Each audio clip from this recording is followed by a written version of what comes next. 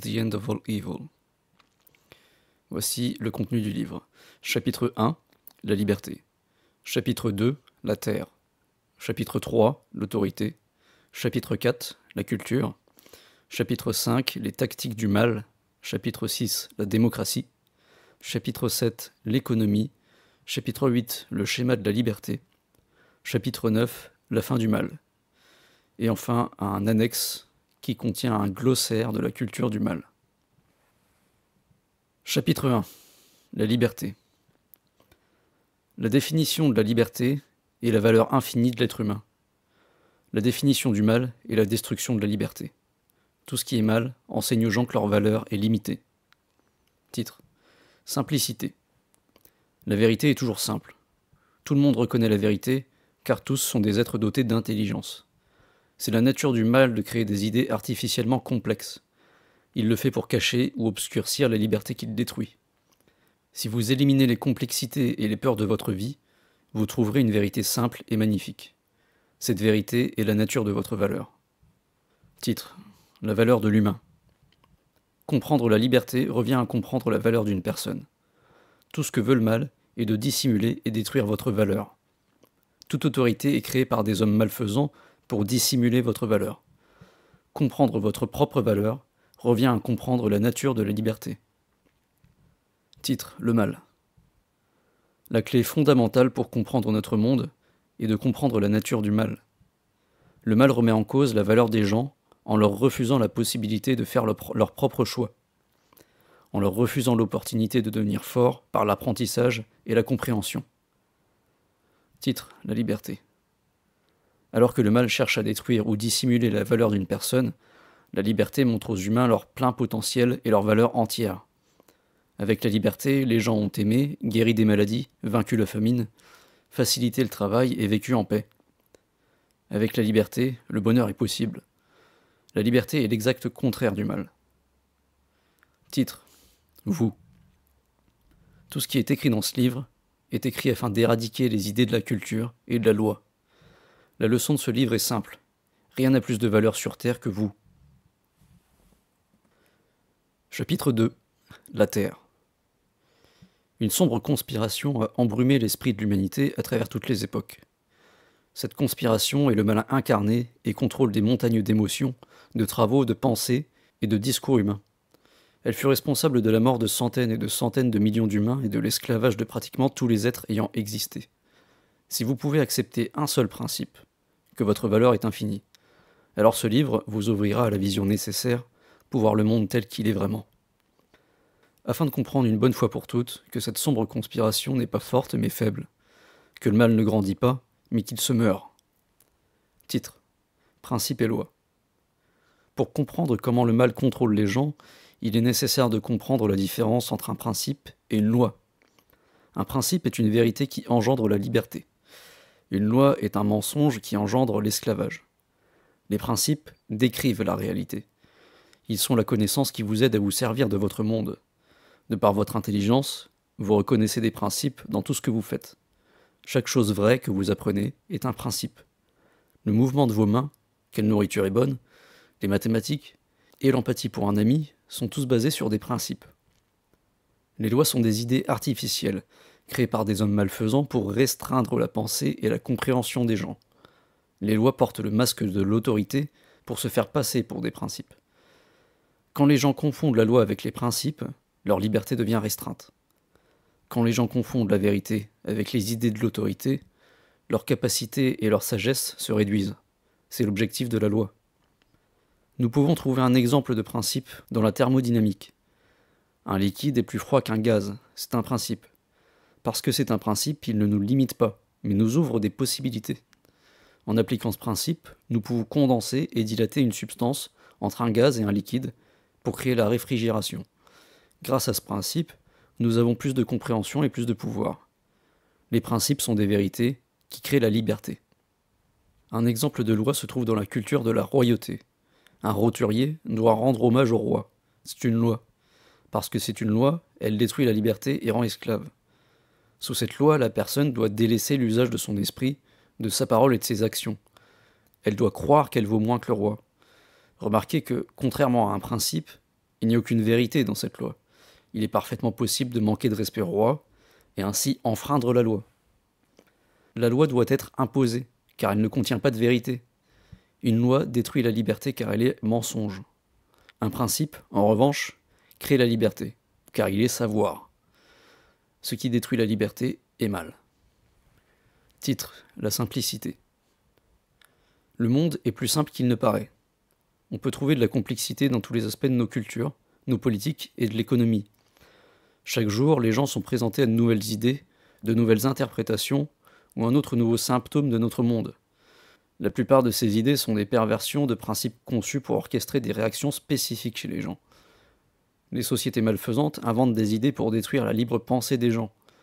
Quelques-uns des noms historiques de ces idées furent le socialisme, le fascisme, le racisme, le communisme, la démocratie, la lutte des classes, le politiquement correct, les conventions sociales, la décence, la royauté et le terrorisme. Toutes ces idées sont créées exactement pour la même raison. Ce sont des véhicules pour embrouiller l'esprit des victimes de l'esclavage. Toutes sont mauvaises. Vous êtes capable de tout comprendre du monde qui vous entoure. Votre intelligence n'est pas limitée. Des déformations et des complexités sont introduites dans votre compréhension pour permettre aux hommes malfaisants de vous contrôler. Le mal veut que vous croyiez être incapable de comprendre votre propre monde. Quand vous comprendrez l'ampleur de votre propre valeur, le mal échouera. Il y a deux principes pertinents dans la compréhension de l'intelligence comme concept. Le premier est la simplicité. Le principe de simplicité nous dit que l'intelligence reconnaît la vérité. Quand une vérité, quelle qu'elle soit, nous est présentée dans sa forme pure, n'importe qui est capable de la comprendre. Il n'existe pas de vérité que vous ne pouvez apprendre. C'est le principe de simplicité. L'intelligence reconnaît la vérité. Le deuxième principe est le principe d'obscurcissement. L'obscurcissement est la déformation d'un principe. L'obscurcissement est la création d'idées fausses afin d'occulter la vérité. Parfois, il s'agit simplement d'ajouter des idées par-dessus une vérité pour travestir la nature originale de cette vérité. Même des idées qui semblent parfaitement convenables peuvent servir à enterrer des vérités. L'obscurcissement est utilisé par le mal pour confondre l'esprit des gens. L'obscurcissement déforme les principes afin que les gens soient incapables d'apprendre. Le mal utilise l'obscurcissement afin de vous empêcher d'acquérir la sagesse. Il le fait pour limiter votre liberté. La culture, c'est que les gens découvriront moins de vérité s'ils se focalisent sur des complexités artificielles. En grandissant, les enfants apprennent que des idées en apparence complexes sont en fait des principes simples et basiques. Ce qui semblait impossible à comprendre à un moment donné devient merveilleux lorsque l'on le comprend. Il est bon d'acquérir de la sagesse. Grâce à la sagesse, vous pouvez tout faire. Votre recherche du savoir deviendra plus facile à mesure que vous perdez toute notion de votre infériorité. Le mal se sert de l'obscurcissement pour que les gens se sentent inférieurs. Vous n'êtes pas inférieur aux autres, et vous n'êtes pas inférieur à des idées. Votre valeur est infinie. Titre Qui vous êtes? En tant qu'être humain, vous êtes très spécial. Vous êtes différent des minéraux, des plantes ou des animaux sur Terre. Rien ne commande les capacités de l'intellect comme vous le faites. Rien d'autre n'a une ambition si entière de satisfaire ses rêves. Rien d'autre ne possède le désir ou la soif de connaissance que vous avez. Vous êtes un être humain. Votre nature n'a aucune limite. Il n'y a pas de limite à votre capacité de comprendre ou d'être heureux. En tant qu'être humain, votre vie n'est soumise à aucune autre volonté que la vôtre. Vous n'avez besoin d'aucune permission ou grâce pour apprendre et grandir. Tout ce que vous désirez peut être à vous. Les gens recherchent naturellement le bonheur dans leur vie, et le désir le plus commun et le plus profond est l'amour et la vigueur de leur famille. Tout ce que vous faites augmente la sécurité, la paix et la prospérité pour vous-même et pour ceux que vous aimez. Votre capacité à créer ces choses, de par les désirs de votre cœur, est correctement définie comme étant la foi. Avec la foi, vous trouverez la joie partout où vous irez. Titre La foi. La foi est le courage de tester des idées pour la vérité. Avec la foi, les gens découvrent si des idées sont vraies ou fausses. Avec la foi, les gens apprennent des principes. Les gens utilisent la foi pour passer chaque étape de l'expérimentation des principes. Nous échouons souvent, mais nous apprenons toujours. Imaginez que vous marchez sur une surface rocheuse. Vous vous attendez peut-être à ce que la surface soit solide et qu'elle ne bouge pas. Si vous vous attendiez à un sol immobile et qu'il se mettait à bouger, vous pourriez perdre l'équilibre. Quand les idées que vous testez sont fausses, le test échouera. Votre intelligence vous aide à ajuster votre pensée pour mieux comprendre le principe de la marche. Vous apprenez à contrôler votre équilibre malgré la difficulté du terrain. Vous utilisez la foi pour tester votre nouvelle compréhension, et vous vous déplacerez bientôt rapidement et avec succès. Vous maîtrisez ainsi des principes. Chaque fois que les humains mettent en action des principes, ils ressentent de la puissance, de l'excitation et de la joie. La réalisation de l'intelligence est ce que recherchent les gens. Comme par exemple un enfant montrant fièrement à ses parents qu'il a appris à lasser ses chaussures, ou un étudiant maîtrisant un concept mathématique, ou un couple résolvant une dispute. Ils sont la découverte de principes par le test de la foi. L'application de la foi aux principes apporte la sagesse. La liberté est nécessaire. La destruction de la liberté empêche les gens d'utiliser la foi. Elle empêche les gens de tester leur compréhension des principes. Lorsque nous ne sommes pas libres de faire nos propres expériences, nous ne pouvons pas apprendre et grandir. L'amour, la prospérité et la connaissance sont tout ce qui est uniquement possible par la liberté. La liberté apporte tout ce qui est bon. En tant qu'être humain, le degré de liberté dont vous avez besoin est infini. La liberté est la valeur infinie de l'être humain. Si le mal détruit la liberté dans un domaine de votre vie, il peut limiter votre sagesse, votre amour et votre bonheur. Titre Le danger. Il existe des gens prêts à détruire votre liberté. Ils veulent vous contrôler pour que vous ne puissiez devenir qui vous voulez être. Afin de vous contrôler, ils utilisent la force pour vous arracher la liberté avec laquelle vous êtes né. Ne sous-estimez jamais le talent et la cruauté des méchants. Le mal confisque l'argent, détruit la vertu et verse le sang. La plupart des gens ne sont pas mauvais. La plupart cherchent à créer et non à détruire. Malgré tout, les méchants existent et ils sont extrêmement dangereux. On les appelle l'autorité. Titre L'autorité. Il n'existe aucune autorité sur Terre qui puisse légitimement gouverner votre vie. Amené à la vie, vous et vous seul contrôlez vos yeux, vos oreilles, votre langue, vos mains et votre esprit. Toute autorité qui affirme pouvoir disposer de vous et de vos capacités est tromperie. Vous êtes né dans ce monde pour avoir le libre contrôle sur votre propre vie. La vie est liberté. Avec la liberté et la foi dans ce monde, vous pouvez tout apprendre et tout faire. Quiconque vous dit que vous devez céder votre esprit, votre corps ou vos possessions à l'autorité est mauvais. Comprenez que les choix pris en votre libre arbitre ne sont pas mauvais. Il n'y a rien de mal au sacrifice s'il est volontaire. Mais le sacrifice sans le consentement n'est pas un sacrifice, c'est l'esclavage. L'autorité impose toujours ses demandes aux gens par la force. L'autorité ne demande jamais de permission. Titre obscurci. Les autorités les plus simples sont des voleurs ordinaires. Ils font appel à l'extorsion ou à la furtivité pour confisquer les choses qui comptent pour vous. Ils peuvent voler de l'argent, la vertu par le viol, ou la vie par le meurtre. Par les actions, ils vous montrent que votre valeur est inférieure à la leur. L'outil de leur autorité est la violence. Il existe d'autres et bien plus puissantes autorités dans votre vie quotidienne. Elles sont terriblement plus dangereuses, plus profitables et plus subtiles.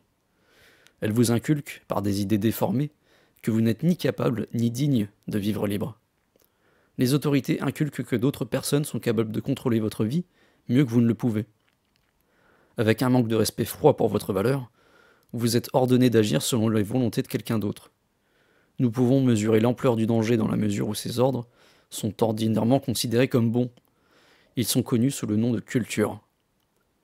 Vous trouverez ce genre de subterfuge partout où il y a de la valeur dans votre vie.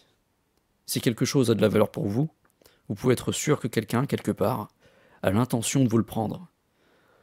Bien qu'elle soit aussi mauvaise que le voleur ordinaire, les méthodes d'une culture sophistiquée sont en principe bien plus puissantes. Titre Le mal. Le mal est la destruction de la liberté. On ne peut pas le dire plus simplement.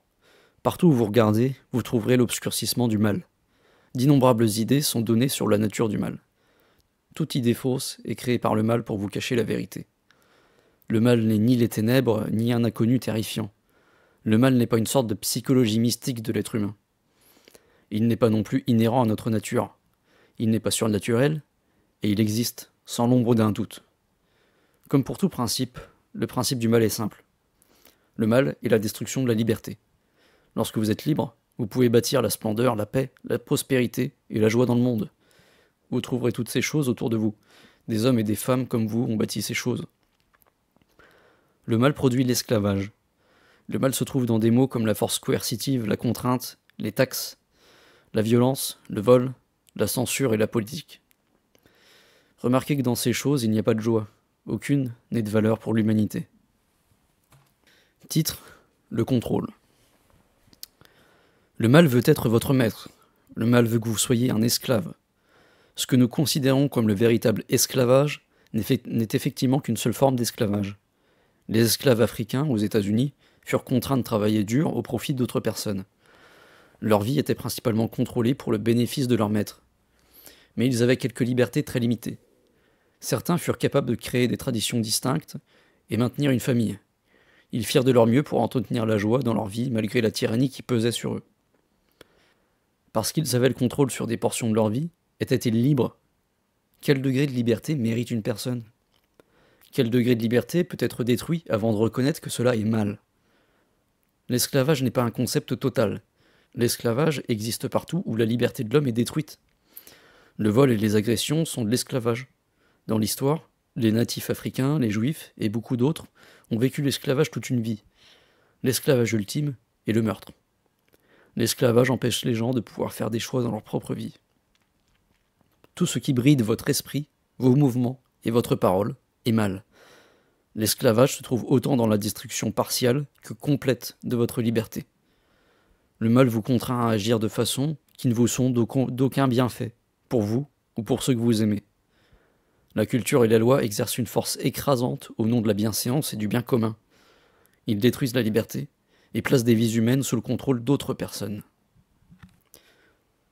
Chapitre 3 L'autorité. Vous êtes né dans ce monde avec la souveraineté sur votre esprit et votre vie. Vos capacités de penser, ressentir, apprendre et aimer sont votre liberté. Ces capacités qui vous sont intrinsèques sont infinies. Votre valeur est infinie.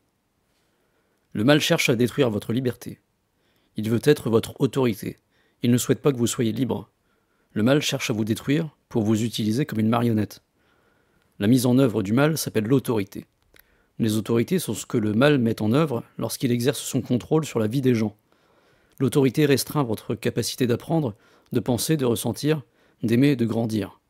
C'est la raison pour laquelle l'autorité est mauvaise. Les autorités ne sont pas accidentelles. Elles sont créées spécifiquement par des personnes intelligentes pour vous contrôler. Le mal utilise deux outils dans ce but. Ces deux outils détruisent la liberté. Ce sont la culture et la violence. Chacun de ces outils de l'autorité possède des armes servant à attaquer votre liberté. Les armes de la violence sont le vol, l'emprisonnement, la torture, le viol et le meurtre. Les armes de la culture sont la loi et le contrôle de l'expression. Le mal est appliqué de force dans la vie des gens. Le mal veut que vous obéissiez à son autorité. Il utilise les armes de la violence sur tous les réfractaires. Il utilise les armes de la culture pour maintenir l'obéissance qu'il a, obtenue. Titre La violence. Votre corps physique vous permet d'appliquer des principes sur tous les aspects de la réalité. Avec lui, vous avez les outils nécessaires pour interagir avec le monde physique. Le physique vous apporte un potentiel considérable. C'est un don de liberté totale. Les gens obéissent à l'autorité quand ils subissent des violences. La violence menace leur corps physique. Elle menace leur interaction avec le monde physique. Les gens qui subissent la violence sont contraints d'obéir parce qu'ils veulent protéger la liberté que leur corps leur apporte. La douleur et les blessures limitent votre capacité d'interagir avec votre monde. La mort détruit totalement votre liberté. Le mensonge de la tyrannie est que vous maintiendrez la liberté qu'est la vie en obéissant à l'autorité. Les choix qui vous sont offerts sont une vie entière d'obéissance ou la mort. Le mal est le maître de la supercherie. L'objectif du mal n'est pas la violence, mais l'obéissance. Le but de la violence est d'imposer l'obéissance. Son dessein est la destruction de la liberté, que ce soit en vous soumettant à l'autorité et en lui obéissant, ou en lui permettant de vous détruire physiquement, vous aurez perdu votre liberté. Le seul moyen de conserver la liberté est de combattre la tyrannie à tout moment et à tout prix. Titre La perspective. Les cultures de notre planète offrent à ses habitants différents systèmes de moralité. Des définitions déformées du bien et du mal se trouvent partout sur la planète. Dans une culture, une chose est acceptable, dans une autre, elle est taboue. Dans une culture, un mot est outrageant, dans une autre, il ne l'est pas. Dans des cultures opposées, ce qu'on définit comme criminel sera très différent. Lorsqu'une autorité est établie dans une société, Le mal est soit flagrant, soit pratiquement invisible, selon que vous faites partie de cette culture ou non. Bien que peu de gens soient capables de reconnaître l'oppression présente dans leur, propre, dans leur propre culture, la culture reste une oppression. La plupart des gens se demandent avec horreur comment le soldat allemand, ordinaire, a pu participer à l'extermination des juifs. Ou comment des millions de citoyens ordinaires ont pu, sous la coupe du communisme, amener leurs frères à une mort certaine entre les mains de la police. Les exemples historiques ne manquent pas. Ils existent dans toutes les cultures qui furent conçues. La culture tient d'une main de fer la nature humaine. Il est faux de dire que les méchants de l'histoire ont abusé de l'autorité. En vérité, ils ont agi en parfaite conformité avec la nature de l'autorité. La tyrannie est toujours déguisée de la culture et des lois. Titre Le principe d'autorité. Le principe d'autorité définit le comportement des gens qui vivent en état de droit. Le principe d'autorité montre que les gens obéissent à tout et à n'importe qui qu'ils pensent être une autorité. Bien que le qui, le pourquoi et le quoi aient changé à travers l'histoire, le comportement des gens n'a pas changé, ils obéissent. Quand on dit aux gens que l'obéissance est un principe, ils obéissent. Quand on leur inculque que la source de la valeur et de la connaissance se trouve chez un autre, non en eux-mêmes, ils obéissent. C'est l'état de droit, et il inculque aux gens que leur volonté est subjective à la volonté de la loi et ceux qui la contrôlent. Des exemples d'autorité sont les gouvernements, les petites brutes, les mafias, les voleurs et les rois. Les gens obéissent à l'autorité de par la peur de la violence, ou parce que la culture les conditionne à accepter l'obéissance comme étant ce qui est bon et correct. Les autorités font toujours usage de ces deux outils. Les autorités les plus réussies ont moins recours à la violence car leur culture est assez puissante. La culture, comme la violence, impose l'autorité. Sous l'autorité, les gens ont obéi aux lois produisant les atrocités de l'histoire. Les meurtres, viols et pillages sous des chefs de clan, des rois, des empereurs, sous le communisme et le nazisme, n'étaient pas perpétrés par de petits groupes. Ils étaient perpétrés par des milliers, même des millions de gens. Ces gens n'auraient pas commis ces monstruosités d'eux-mêmes. Si une personne quelconque leur avait ordonné, ils auraient refusé. Alors pourquoi, à la requête de ce qui est identifié comme une autorité, obéissent-ils L'obéissance à l'autorité est le principe d'autorité. Les gens obéiront à l'autorité, quoi qu'elle leur demande de faire. Ils obéissent car ils ont été trompés. On leur a inculqué fallacieusement que les lois contiennent des principes. Dans l'histoire, il est difficile d'imaginer pourquoi certaines cultures sont tellement plus malsaines que d'autres. La cause en est l'autorité. Les cultures où l'autorité est la moins influente sont les plus pacifiques, et par définition les plus libres. Les cultures où l'autorité est la plus influente sont les plus violentes, et par définition sous esclavage. Chaque fois que vous êtes contraint d'agir selon la volonté de l'autorité, vous êtes sous l'influence de ce principe. Le mal utilise le principe d'autorité pour conditionner les gens à obéir sans questionner à quoi, pourquoi ou qui ils obéissent. Détruire votre identité pour prendre l'avantage sur vous est le mode opératoire du mal. Titre Le schéma du mal. La tyrannie est masquée par la culture et la loi. Tout ce que cherche le mal est la destruction de la liberté, la destruction de la valeur des individus. Le schéma de la tyrannie est simple. Le but est d'asservir l'esprit des gens en créant une culture d'obéissance. Un certain processus doit être entrepris pour obtenir l'obéissance des gens. Ce processus est le schéma de la tyrannie. Sous-titre de Le schéma du mal, la guerre. Avant de pouvoir établir une autorité, la guerre doit avoir lieu. La guerre est l'application de la violence. C'est l'outil dont se sert le mal pour établir son autorité. Toutes les guerres de l'histoire ont surgi du, du désir d'établir une nouvelle autorité sur les peuples. Sur une échelle minimale, cela a lieu par le processus de la menace et du consentement. Ce comportement est celui des brutes, des brigands et des mafias. Sur une échelle maximale, cela a lieu lors de violentes guerres persistant des années. Ce comportement est celui des nations et des empires. Sous-titre de Le schéma du mal Les ennemis. Afin de leur proposer une échappatoire à la violence, les nouvelles autorités inculquent au peuple que l'obéissance mettra fin à la guerre. Le dessein de l'autorité est l'obéissance. L'autorité conditionne les gens à l'obéissance en leur jurant protection contre de dangereux ennemis. Les théocraties ont utilisé le blasphème comme ennemi. Les nazis ont utilisé les juifs. Les communistes ont utilisé les riches. Bien des ennemis furent créés, mais celui de loin le plus récurrent est l'anarchie. Sous-titre dans Le schéma du mal, la protection. Afin de bâtir une culture et de pervertir la liberté de pensée des gens, le mal doit créer un ennemi. Au tyran, il importe peu qui sera cet ennemi. Les tyrans offriront une protection contre ses ennemis en échange de l'obéissance. Notez bien qu'ils proposent leur protection, mais que l'obéissance est obligatoire. Que vous appréciez ou non de subir leur autorité, vous obéirez ou ils se montreront violents. Les ennemis ne sont créés que pour apaiser le poids de l'obéissance dans l'esprit des gens. Les ennemis culturels sont une illusion. Benjamin Franklin disait que ceux qui abandonnent la liberté pour obtenir la sécurité finiront privés des deux. Ça n'est pas une observation creuse. Le schéma de la tyrannie montre clairement que la raison même de vous amener au besoin de sécurité est de vous convaincre de céder votre liberté. C'est tout ce que cherche l'autorité. La demande de sécurité est attisée par ceux qui veulent vous dominer. C'est ainsi qu'il crée des ennemis. Ne vous trompez pas. Ce n'est pas l'ennemi que le tyran vise, c'est vous. L'illusion des ennemis culturels est employée pour appauvrir la réflexion des gens. On la crée pour convaincre les gens que le véritable ennemi n'est pas le mal qui les domine, mais quelques démons imaginaires qui leur voudraient du mal. C'est le mensonge de la tyrannie. Ils demandent votre obéissance pour vous sauver. La tyrannie se déguise de la culture et des lois. Sous-titre dans le schéma du mal, la preuve sociale. Alors qu'un peuple commence à se soumettre, sous la contrainte de la violence, à la volonté de la nouvelle autorité, un principe du nom de preuve sociale s'introduit dans la culture. Plus il y a de gens pour obéir à l'autorité, plus les autres sont enclins à faire de même. La normalité de l'obéissance entre dans le quotidien. Il est naturel de vouloir échapper à la violence de l'autorité. Des gens qui vivent sous l'oppression des nations ou des malfrats accepteront inévitablement l'offre de l'obéissance. Un agresseur offrira de ne pas tirer si le portefeuille lui est remis. Un violeur offre d'épargner la vie si la chasteté lui est abandonnée. Les mafias offrent de ne pas torturer s'ils reçoivent leur paiement. Le gouvernement offre de ne pas vous anéantir si vous respectez les lois. L'offre est adoucie par l'illusion des ennemis. Quand quelqu'un fait face à la souffrance ou à la mort d'un côté, ou à la protection d'un ennemi de l'autre, l'attachement à la liberté finira bien par céder.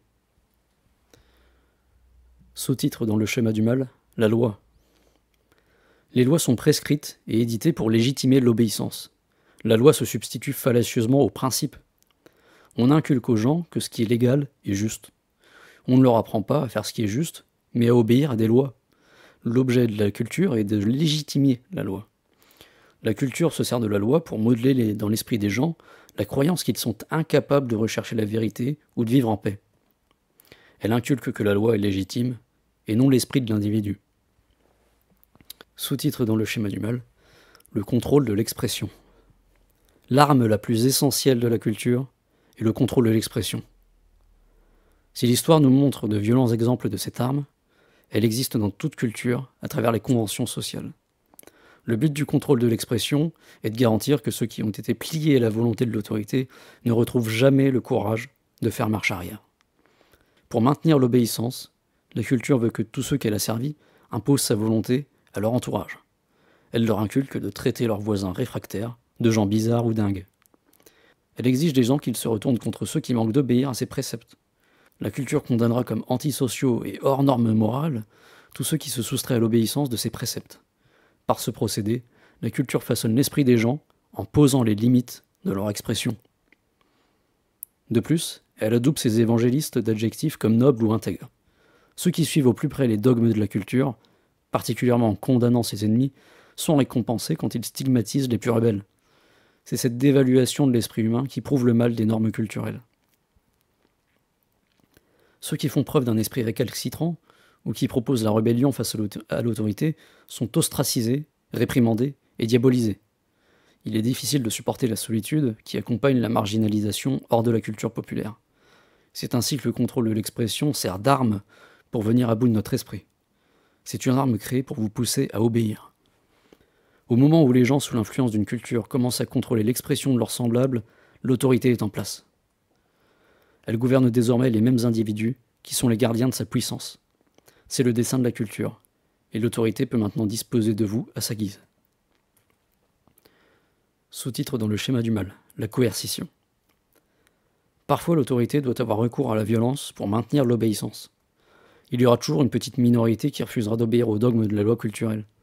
Pour cela, les autorités ont recours à un flux continu de violence qui sont les agents de la loi ou la police.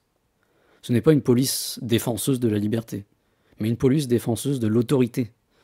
Les cultures inculquent systématiquement que la liberté et l'autorité vont de pair. Mais le rôle de la police est de porter les armes de la violence pour préserver l'autorité, pas pour défendre la liberté.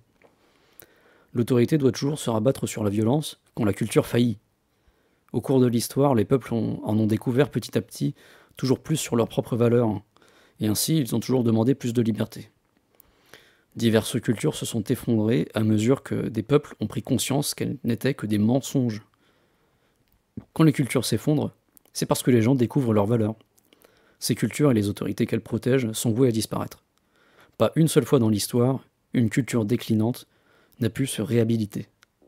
Quand les autorités s'aperçoivent que leur culture est mise en pièces, et que l'obéissance leur glisse entre les mains, elles emploient la violence. Ces retours à la violence dans l'histoire sont extrêmement brutaux. L'application coercitive violente de la loi est le signe d'une liberté naissante. Titre. Exemple. Prenons un exemple générique dans l'histoire du schéma tyrannique. Un malfrat assemble des hommes afin d'extorquer l'argent d'habitants voisins. Victorieux de nombreux pillages, il fait évoluer sa bande de brigands en armée. Il parvient à éliminer les anciens agents de la loi ou les corrompt secrètement. En sachant qu'il peut extorquer plus d'argent sur le long terme en épargnant ses victimes, il implémente un impôt applicable à tous ceux compris dans son territoire. Il trace des frontières et ordonne des décrets. Et surtout, il promet à ses victimes de les protéger des autres malfrats. Ces victimes s'accoutument à la longue à sa volonté et à ses mensonges. Les gens prennent peur quand ils entendent leurs voisins parler de fuir les impôts et les maltraitements. Ils soutiendront bientôt activement le régime en veillant au discours de trahison et en livrant les déviants à la police. À l'origine désigné comme un criminel, le malfrat s'appelle maintenant l'autorité. Il est l'ordre et la loi. Cet exemple aurait pu facilement décrire un gang barbare du Moyen Âge ou d'un lointain passé. On peut l'appliquer à n'importe quel roi ou empereur d'antan. On peut l'appliquer à n'importe quel dictateur militaire ou mafia d'aujourd'hui. En fait, il s'apparente fortement à toute autorité ayant existé. Une fois les gens conditionnés à accepter la notion d'autorité, ils obéissent naturellement sans y penser. Le but de la loi est l'obéissance, et la destruction de la liberté se trouve dans l'aveuglement de cette obéissance. Le principe d'autorité nous montre que, même si un individu considère en temps normal qu'une action est mauvaise, si l'autorité lui en donne l'ordre, il l'exécutera malgré tout. L'implémentation et l'exercice de l'autorité sur un groupe s'appelle le schéma de la tyrannie. Titre Dans l'histoire. On peut facilement retracer ce schéma dans l'histoire. Adolf Hitler créa un ennemi par les juifs. Au préalable, la culture allemande fut manipulée, et les juifs furent raillés comme euh, fourbes et avares, un peuple douteux parce qu'ils restent entre eux. Rapidement, une culture où l'on était châtié pour défendre les juifs se mit en place. Ceux qui les diabolisaient étaient soutenus. L'expression était sous contrôle. Hitler fit ensuite des Juifs l'ennemi absolu. Ils furent accusés de tous les maux sociaux et économiques. La solution était de porter Adolf Hitler au pouvoir, de lui céder les libertés des Allemands pour qu'il les sauve de l'ennemi. Ne vous y trompez pas. Hitler n'était pas après les Juifs, mais après le peuple allemand. Homme malfaisant, il était simplement disposé à sacrifier des millions de Juifs pour obtenir le pouvoir. Ne faites pas l'erreur de croire qu'Hitler était raciste. Suivez le schéma. Pour simplifier, il prit le contrôle de la nation et força les Allemands à le servir et à servir son armée. Sa véritable motivation n'était pas le racisme, mais la conquête intégrale du monde. Le socialisme et le communisme créent l'ennemi en l'avidité, en employant le même schéma de contrôle de l'expression. Le profit devient un gros mot, alors qu'il veut simplement dire que vous avez travaillé pour améliorer votre vie. L'argent devient mauvais, alors qu'il représente simplement la valeur de votre travail, ce qui est clairement une chose morale. Il crée cet ennemi, mais ce n'est pas après l'avidité qu'ils sont non, mais après vous. S'ils peuvent vous convaincre que votre argent et votre labeur sont les ennemis, vous leur céderez ceci. L'autorité n'est pas conçue pour détruire l'ennemi, elle est conçue pour vous asservir. Les démocraties créent l'ennemi en l'anarchie en employant le même schéma de contrôle de l'expression. Il devient immoral de suggérer qu'on puisse enfreindre les lois, peu importe quelle loi, et ce qu'elles dictent. On attribue le caractère noble au paiement des impôts, peu importe combien on exige de vous. Obéir la loi est la forme ultime de convention culturelle, indépendamment de ce qu'elle dicte. L'ennemi est l'anarchie fictive, celle où personne n'est à l'abri car tout le monde est un tyran. Afin d'être sauvé de l'anarchie, vous transférez l'autorité à la loi. Vous obéissez. Le mal n'est pas après la destruction de l'anarchie, mais après vous. Si vous arrivez à percevoir la tyrannie dans une culture qui vous demande l'obéissance, peu importe ce qu'on vous demande et qui a écrit ces lois, alors vous commencez à comprendre la nature du mal. Tout ce qui est mal vous inculque que votre valeur est limitée. Titre L'état de droit. L'état de droit est l'idée la plus dangereuse instillée à l'humanité. Elle a emprunté d'innombrables noms à travers les âges de l'histoire. Dans les tribus primitives, on la connaît sous le nom du respect des anciens. Dans la tyrannie de la royauté, on la connaît sous les noms de noblesse, droit de naissance et divinité. Dans le communisme, il s'agit de la suprématie de l'État. Dans les dictatures, on dit que c'est l'antidote à l'anarchie. Dans les théocraties, on l'appelle la révélation. L'essence de cette idée est que vous vous devez d'obéir à la loi, parce qu'elle serait morale ou bonne. Vous devez d'y obéir uniquement parce que c'est la loi. Il est supposé que même si la loi est mauvaise, nous devons la suivre parce qu'elle soutient le système, et que le système importe plus que nous. Pour qu'une personne intelligente puisse choisir ce qui est juste, elle doit d'abord savoir qui lui demande d'obéir, pourquoi on le lui demande, et qu'est-ce qu'on lui demande? Alors seulement elle pourra décider d'elle-même si cela est juste. Ce n'est pas ce que souhaite l'autorité. L'autorité se moque de savoir si ce que vous faites est juste. Elle ne se préoccupe que de votre obéissance. La culture inculque que la nature de la loi et ce qu'elle exige de vous sont sans importance. La culture inculque que l'obéissance est une attitude convenable. Elle inculque que quand une loi est créée, elle devient morale. La loi est une arme. Le mal l'utilise pour attaquer sa proie. Que ce soit au nom du devoir envers le roi, de la loyauté à l'État, de l'état de droit, la loi est l'arme employée pour extorquer et contrôler. La culture maintient le prestige de la loi. Elle inculque que la loi est convenable et bonne. Elle ne questionne jamais qui a écrit la loi. Un tyran et un frère sont la même chose. Elle ne questionne jamais si la loi est juste ou injuste. Vous devrez y obéir, quoi qu'il en soit. Ainsi, la loi est une arme redoutable à pointer contre vous. Tous les États créent des montagnes de lois, qui vous prendront une vie à comprendre et une armée d'avocats pour les manier. Ces choses sont des armes aux mains des puissants. Ils les utiliseront à vos dépens. La loi n'a de valeur que pour ceux qui l'ont créée parce que votre culture vous demande d'y obéir. L'invitation la plus directe de la tyrannie est de vous engager à obéir aux lois, sans considération de leur contenu. La loi devient l'arme ultime contre vous. Qui contrôle la loi est votre maître.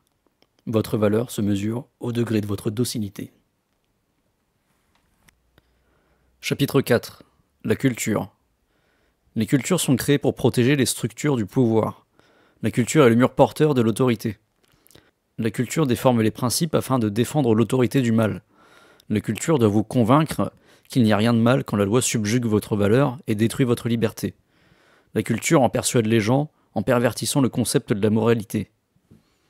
La moralité est liberté. L'immoralité est le mal. L'exercice et la défense de la liberté sont moraux. La destruction de la liberté est immorale. C'est la pure vérité de la morale. La prudence est l'application correcte d'un principe. L'imprudence est la bêtise. La prudence n'est pas la morale.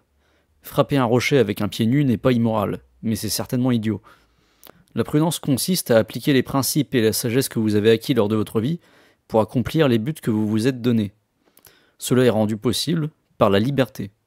Sans liberté, la prudence ne vaut rien. La moralité doit prévaloir sur la prudence. Le grand mensonge de la culture est que l'autorité n'est pas soumise à la morale, et que l'autorité peut vous imposer sa propre prudence. Le grand mensonge de la culture est que vous valez moins que la loi. Les cultures inculquent que des intentions de prudence peuvent être imposées par la loi. De cette manière, ils obtiennent une excuse pour contrôler la vie des gens. Afin que les gens apprennent, évoluent et trouvent le bonheur, ils doivent être libres d'expérimenter leur compréhension des principes. Avec la liberté, ils peuvent le faire par une méthode utilisant la foi et les tâtonnements. De cette manière, les enfants passent de l'immaturité à la maturité. De cette manière, nous gagnons en sagesse. Les cultures sont les agents du mal. Le but du mal est d'annihiler votre capacité à devenir plus sage. Le but du mal est la destruction de votre valeur. Afin d'obtenir votre contrôle, la culture diffuse le mensonge que l'autorité n'est pas soumise à la moralité, elle inculque que l'autorité peut détruire votre liberté selon sa volonté. et justifie votre devoir de vous y soumettre en prétextant que c'est de la prudence. Au nom de votre défense, la culture affirme que la destruction de la liberté est morale. La culture fait passer le mal pour le bien et inversement. La prudence se trouve partout autour de vous. Vous la trouvez dans les choix que vous faites chaque jour.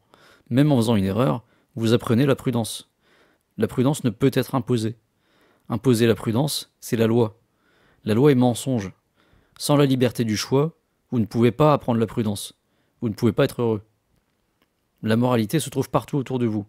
Là où vous la trouvez, vous trouvez le bonheur. Là où vous trouvez l'immoralité, vous trouvez le malheur. La culture impose l'autorité en détruisant la liberté par la loi. Et cela est immoral. Titre Le contrôle de l'expression. L'expression est contrôlée par la culture parce qu'elle fait progresser la sagesse. La communication humaine accélère l'évolution et l'apprentissage de façon exponentielle. Les gens apprennent les principes d'eux-mêmes par expérimentation avec leur environnement, mais apprennent bien plus vite quand ils sont en mesure de communiquer leurs pensées par la parole. La parole est l'outil le plus puissant de l'humanité. Grâce à elle, les enfants comme les adultes accélèrent l'acquisition du savoir dans tout ce qu'ils convoitent. La culture ne peut permettre la propagation rapide de la compréhension humaine. Si les gens connaissaient leurs valeurs et leur potentiel, ils ne se soumettraient jamais aux, autorités artificielles qui veulent les subordonner. La culture est une affaire de contrôle. Elle est conçue pour protéger les puissants, pour protéger les détenteurs de l'autorité. Son rôle est d'assurer que l'expression est bridée. Pour accomplir ce but, elle met en place un dispositif de subversion de la pensée et de convention sociale dans l'expression. Sous-titre dans Le contrôle de l'expression. L'autorité ne se questionne pas. La culture commence par qualifier la remise en question de l'autorité d'immorale. L'état de droit, le respect absolu de la police, la réputation politique et la noblesse du roi sont tous des exemples de subversion culturelle de la pensée.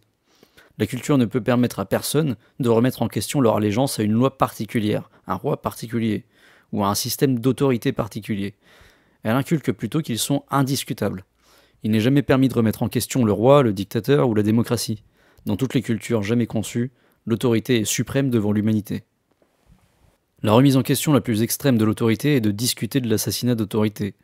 Ne serait-ce qu'en imprimer une ligne fera frissonner ceux qui vivent sous une culture quelle qu'elle soit. La culture a cette emprise sur l'expression. Questionner si l'autorité est juste ou non n'est pas autorisé. Le système est au-dessus de vous. Vous ne vous opposerez pas. Bien que la loi considère moral de se défendre elle-même par la violence, elle vous dira que vous êtes immoral pour avoir envisagé de vous défendre contre elle. Des tabous mineurs sur la remise en question de l'autorité existent sous diverses formes dans les cultures de l'histoire de notre temps, cela est le plus évident dans l'opprobre infligé à quiconque questionne la respectabilité de la police, des enseignants de l'éducation publique et d'autres employés du public. Leur travail est considéré comme au-dessus de celui des autres. Ce qu'ils font au travail est exempt de reproches, car ils sont des agents de l'autorité. Cela s'appelle parfois le respect de la fonction. Remettre en question leur droit d'interférence dans votre vie vous apportera le mépris de la culture. C'est le contrôle de l'expression. D'autres exemples existent comme la croyance que payer des impôts est noble. Personne ne paierait rien si ce n'était pas obligatoire. Personne ne paie un franc de plus que ce qui lui est demandé pour ne pas finir en prison. Et pourtant, par la culture, vous pourrez entendre qu'il est noble de payer ses impôts. Contribuable est le titre octroyé à ceux qui cherchent une légitimité dans les débats politiques. La culture inculque qu'une bonne personne est celle qui accepte de se faire extorquer et contrôler sans y réfléchir. L'obéissance à des lois arbitraires sous l'état de droit est jugée comme une bonne réputation. Plus une loi est nocive à l'humanité, plus la culture louera la noblesse de ceux qui lui obéissent. Si l'autorité n'est pas remise en question, elle est acceptée comme maîtresse légitime de l'homme, résultant en son esclavage. Les Allemands ont failli à remettre en question la culture que leur avait imposée le Parti national socialiste. Leur servitude à Hitler et à son entreprise guerrière en fut le résultat. Des milliards ont failli à remettre en question la culture de fraternité portée par le communisme. L'esclavage totalitariste et les morts de centaines de millions de gens en furent le résultat. Céder votre esprit, de peu ou considérablement, à la culture, lui permettra de faire de vous son pion. Cela commence lorsque vous censurez votre parole par peur de la culture. Sous-titre dans le contrôle de l'expression La diversion des conventions de bienséance et de bien-pensance. L'étape suivante de la manipulation culturelle de l'expression est la création de conventions et de civilités. Elles définissent les ennemis artificiels de la société sur lesquels la culture voudrait que vous vous concentriez plutôt que sur l'autorité. Elles sont conçues arbitrairement pour détourner votre attention du mal de l'autorité. Que serait le monde si vous étiez libre de vous exprimer? L'esprit des gens est entravé par des idées du nom de convention culturelle, politiquement correcte et civilité. Le politiquement correct est un esclavage programmé. Il concentre l'attention sur le contrôle de l'expression du peuple, de manière à ce qu'il pense que son ennemi euh, sont les dérapages. On leur inculque qu'ils sont naturellement racistes, sexistes et intolérants. Les gens ne sont protégés de leurs propres démons que lorsque la culture contrôle fermement leur expression. La culture inculque que la valeur des gens est limitée. La grossièreté du langage est l'emploi indigne de mots et de concepts qui n'appartiennent pas à la bien-pensance culturelle. Bien qu'un mot en lui-même n'a rien de mauvais, et que chaque jour les langues sont remodelées et réinventées, la culture voudrait nous faire croire que ce sont les mots que nous utilisons qui sont le support du mal, au lieu du broiement de l'esprit humain dont l'autorité est l'auteur. Une insulte est un vœu de malheur envers quelqu'un. Jurer est une promesse d'action. Pourtant, ces deux choses ont été déformées pour inculquer que c'est la parole qui est mauvaise et pas la destruction de la liberté mise en œuvre par des personnes malfaisantes. Chaque fois que vous trouverez un élément de langage qui est culturellement inacceptable, vous y trouverez un bouc émissaire. Le cas spécifique n'a pas d'importance. La culture crée toujours des conventions pour masquer sa tyrannie. Au début du mouvement national-socialiste de l'Allemagne, la culture était fabriquée de façon à ce que la défense d'un juif soit vue comme inconvenante. De la même manière, elle rendit malséant de faire face à ceux qui condamnaient les juifs. On retrouve ce schéma dans toutes les cultures ayant été conçues.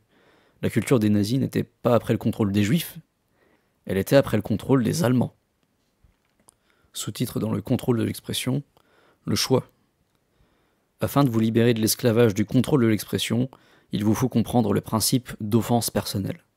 Si vous êtes offensé par un mot ou une phrase, vous avez alors choisi la colère et d'être blessé. La culture veut vous faire croire que cela vous a été infligé, mais c'est faux. La culture veut vous faire croire que le mal se trouve dans le débat, ou dans l'échange intentionnel ou non d'insultes. Elle veut vous faire croire que certains mots ou allusions sont là où se trouve le mal de la société. Si le mal arrive à créer un ennemi dans le fait de s'exprimer, il peut vous convaincre de céder à son contrôle. C'est là la fonction et le dessein de la culture. Alors que les gens se croient toujours entièrement justifiés de recevoir une offense par la parole, c'est cependant entièrement de leur choix. Ils ont entièrement le choix de ressentir ce qu'ils veulent en écoutant ce qu'une autre personne a à l'esprit. Pourtant, la solution qu'offre la culture est de faire pression sur l'expression, de manière à la reconduire vers ses préférences. Dès que vous estimez noble le contrôle de l'expression, vous ne vous demanderez plus pourquoi il est indécent de questionner l'autorité. Titre Anéantir l'esprit humain. Alors que la culture arbitraire se trouve partout sur Terre chez les adultes, on l'observe bien plus facilement chez les enfants. La culture crée des idées de compulsion dans le style, de compulsion dans l'apparence physique, et de compulsion d'action. Préférer le rose au bleu est une préférence personnelle. De porter du bleu parce que vous craignez de porter du rose est la destruction causée par une culture arbitraire. Les cultures limitent les choix possibles aux gens en créant des règles arbitraires dans votre vie et en les imposant par la pression sociale. Broyer l'esprit des gens permet à la culture d'obtenir leur obéissance. Quand quelqu'un craint de lever la tête parce qu'il ne croit pas être suffisamment attirant, riche ou éduqué, la culture a broyé son esprit en lui inculquant que sa valeur est limitée. Il est facile de contrôler ceux qui ne connaissent pas leur vraie valeur. Les pressions exercées parmi les enfants sont le paradigme d'une culture bien plus malfaisante. Les enfants qui sont les plus doués pour se conformer aux normes culturelles et les imposer le plus strictement aux autres sont ceux qui obtiennent du pouvoir social. C'est une caractéristique et une ombre de la culture des nations et des rois. Un citoyen modèle de la culture est celui qui se calque parfaitement sur les idéaux de cette culture, en principe, cela se comprend comme le style, l'expression, l'éducation et le modèle économique. En réalité, il s'agit d'obéissance. La culture inculque l'idolâtrie du citoyen parfait, et ce parce qu'elle désire aussi votre obéissance. Ces personnes sont récompensées par la société pour se laisser aisément façonner par elle. Les puissances de l'autorité et des compulsions dans tous les bords de la société récompenseront toujours le citoyen modèle par dégage de noblesse et puniront toujours ceux qui manquent aux standards de servilité par l'humiliation et le ridicule. Ainsi est la création de la culture. Ainsi est la création des esclaves. Cette démolition de l'esprit humain finit par obliger tout le monde à se conformer. Très peu seront ceux qui envisageront même de combattre la structure du pouvoir. Presque tous les autres accepteront l'autorité. Sous-titre dans Anéantir l'esprit humain, l'arrogance contre la suffisance. La culture inculque que l'arrogance est la valorisation injustifiée de soi. La culture vous ment puisque votre valeur est infinie. La culture condamne l'arrogance parce qu'elle ne veut pas que les gens comprennent leurs vraies valeurs. Elle amalgame volontairement la définition de l'arrogance avec celle de la vanité. La vanité est penser que vous valez mieux que les autres. Tout le monde est d'une valeur infinie. Être vaniteux, c'est d'évaluer ceux qui vous entourent. L'autorité est le sommet de la vanité. Elle fait courber les chines aux gens de peur qu'ils croient que c'est eux, et non la loi qui a de la valeur. L'arrogance est la compréhension de votre propre valeur. La culture la condamne pour insinuer que votre valeur n'est pas suffisante pour faire, dire ou accomplir ce que vous désirez. L'arrogance agace les autres parce que la culture leur a inculqué toute leur vie qu'ils n'ont qu'une valeur infime. Ils sont blessés par la mauvaise interprétation que les gens arrogants seraient meilleurs qu'eux. Ils ont associé l'arrogance à la vanité. Si les gens n'étaient pas si facilement fléchis par les doctrines de la culture, ils reconnaîtraient que les gens sont de valeur égale. Quand ils voient une personne ayant une foi en elle-même supérieure à celle qu'ils ont pour eux-mêmes, ils devraient se réjouir. Si une personne arrogante a une grande valeur, alors eux aussi. La culture condamne l'arrogance pour briser l'esprit de la foi. Sans la culture, les gens se permettraient de savourer l'inspiration que les gens arrogants leur procureraient. L'arrogance de croire que nous pouvons voler, soigner les maladies, accomplir des miracles. L'arrogance de penser que vous pouvez vous gouverner. Sous-titre dans Anéantir l'esprit humain L'enthousiasme. L'enthousiasme pour la vie est fréquemment ridiculisé par la culture.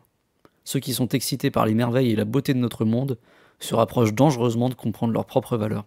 Cela ne peut être permis par la culture. L'enthousiasme et l'excitation ne sont permises que dans des formes limitées et prédéfinies. Chaque culture est différente, mais elles fournissent toutes des issues acceptables d'enthousiasme. Ces issues dévient l'expression arrogante d'enthousiasme afin que d'autres ne s'en inspirent pas. La culture écarte la réussite comme impossible pour l'individu ordinaire. Elle inculque que la plupart des gens ne peuvent s'attendre qu'à un succès modeste dans la vie. Elle inculque aux gens d'accepter que les rêves ne restent que des rêves. Sans exception, la raison pour laquelle les rêves sont si inatteignables vient de la culture. Les lois, le contrôle et l'anéantissement de l'esprit humain limitent nos entreprises. Titre Seulement humain. Les cultures ont de nombreuses versions de l'expression Nous ne sommes que des hommes, dans toutes les langues. Cette expression implique la valeur limitée des gens. Cette expression est un mensonge. Notre potentiel d'intelligence est illimité. Ce qui appartenait au supernaturel dans les temps reculés est aujourd'hui une, une, banalité. Des principes incroyablement complexes deviennent simples aux êtres intelligents lorsqu'ils sont compris. Avec la liberté, plus votre apprentissage progresse, plus la sagesse ouvre votre esprit à la pureté de notre réalité. Les cultures inculquent souvent que l'intelligence est héréditaire, en conjonction avec l'idée que les puissants sont plus intelligents. Cet enseignement sert à sous-entendre que ceux qui possèdent l'autorité l'ont à juste titre. Il est également conçu pour sous-entendre que l'intelligence des gens est limitée par la constitution physique de leur cerveau.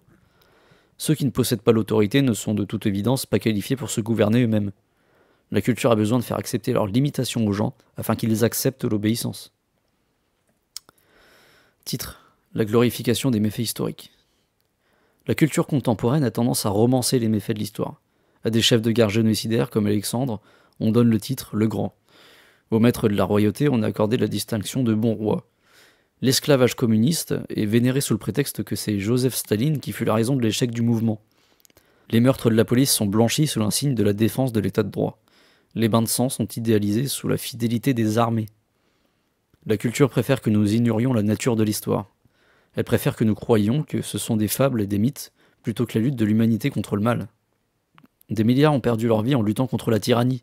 La leçon de l'histoire n'est ni l'honneur des esclaves, ni le bienfait d'un système ou la noblesse d'un roi. C'est la nature du mal qu'il nous faut apprendre. Ne laissez pas la culture brouiller vos connaissances historiques en glorifiant la tyrannie. L'obscurcissement de la tyrannie se trouve dans toutes les cultures d'aujourd'hui et voile la même tyrannie qui se trouvait dans le passé. Ceux qui ont facilité la tyrannie se sont fait les complices de l'autorité. Je ne fais que mon travail, entre guillemets. La culture ne questionnera pas ce qu'était ce travail. La culture ne vous autorisera pas à croire que les gens ont la moindre responsabilité de désobéir au mal de l'autorité. Que ce soit les nazis, les communistes ou les chefs de guerre, la culture nous dit que les bourreaux dans l'histoire ne faisaient que leur travail. La culture glorifie les méfaits de l'histoire et inculque que l'obéissance aveugle à l'autorité de notre temps est noble. Le même aveuglement de l'esprit appliqué par les cultures du passé est utilisé par notre culture contemporaine. Que la loi se prétende juste est hors de propos.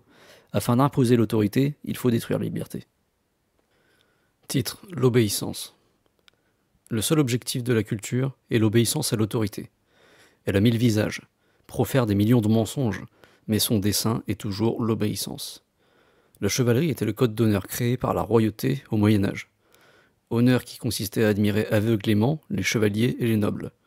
On inculquait aux roturiers que ceux qui les commandaient et appliquaient la loi du roi étaient toujours respectables et vertueux. L'objectif était l'obéissance d'êtres humains à l'autorité. L'enseignement de la chevalerie était que les chevaliers policiers avaient plus de valeur que les autres. Le patriotisme est le code d'honneur créé par les nations des temps modernes. Cet honneur repose sur la loyauté à quiconque est le chef d'État du moment. Le patriotisme ne propose aucun choix. Vous ne pouvez pas choisir la nation que vous servirez. Vous êtes esclave par la naissance. Vous ne pouvez pas refuser d'obéir. Les lois ont tous les droits sur vous. Le patriotisme inculque que la nation est puissante et glorieuse, et que la valeur des gens dépend de leur adoration de celle-ci. L'état de droit est le code d'honneur créé par la démocratie. Elle inculque que l'honneur repose sur l'obéissance à la loi. Ce code inculque également que vous ne pouvez questionner ce que dit la loi, ou qui l'a écrite, et pourquoi? L'état de droit exige une obéissance totale. La loi est une arme, son dessein est l'obéissance. L'état de droit assimile la criminalité à la moralité. L'état de droit inculque que la loi a plus de valeur que les gens. Toutes les cultures qualifient la désobéissance de trahison et effraient les gens avec l'idée de traîtrise envers ce qui est bon et juste. La trahison est le postulat qu'il est mal de désobéir aux intérêts de l'autorité. La vérité, c'est qu'il est mal de forcer les autres à agir contre leur volonté. Puisque l'autorité est toujours un être s'exprimant par la force, les prétentions de la loi sont immorales et hors de propos. Il n'y a pas de trahison. Titre. Les esclaves comme agents de contrôle. Ceux qui pensent sous les limitations de la culture imposeront les doctrines de la culture aux autres. La culture inculque que la moralité se trouve dans l'obéissance. Donc, ceux qui croient que l'autorité est légitimement applicable au peuple demanderont que leurs amis et leurs voisins se comportent selon la volonté de la culture. C'est la perfidie de la culture. Elle nous convainc que l'esclavage correspond à la moralité. Elle ne demande que l'obéissance, et les gens lui rendent au centuple. Elle nous convainc que la destruction de la liberté correspond à la moralité. Elle prétend que le mal est le bien et que le bien est le mal. Tous ceux qui rétorquent contre l'autorité pour défendre la liberté sont stigmatisés. Sous sa forme la plus puissante, la culture peut nous convaincre de devenir des soldats et de tuer, piller et conquérir d'autres peuples. Cela s'est produit dans chaque empire.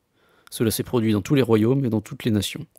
Des chefs de guerre nazis aux hordes barbares, des foules assoiffées de sang à la police, l'autorité se développe et se conserve par la violence. La culture donne des titres de bravoure et d'honneur à ceux qui apportent leur effort aux entreprises du mal. Titre Les symboles d'autorité. La culture cherche à imposer l'autorité en gravant dans l'esprit des gens qu'ils sont inférieurs à la loi. Quand ils croient qu'ils valent moins que la loi, ils croiront que leur vraie place est d'obéir. Les symboles utilisés par l'autorité pour créer l'illusion que les gens ont une valeur limitée sont très similaires au cours de l'histoire. Les robes de nos juges font écho aux robes de la royauté. Les perruques des anciens politiciens européens font écho aux couronnes de la royauté. Les uniformes des corps de police sont les armures des chevaliers.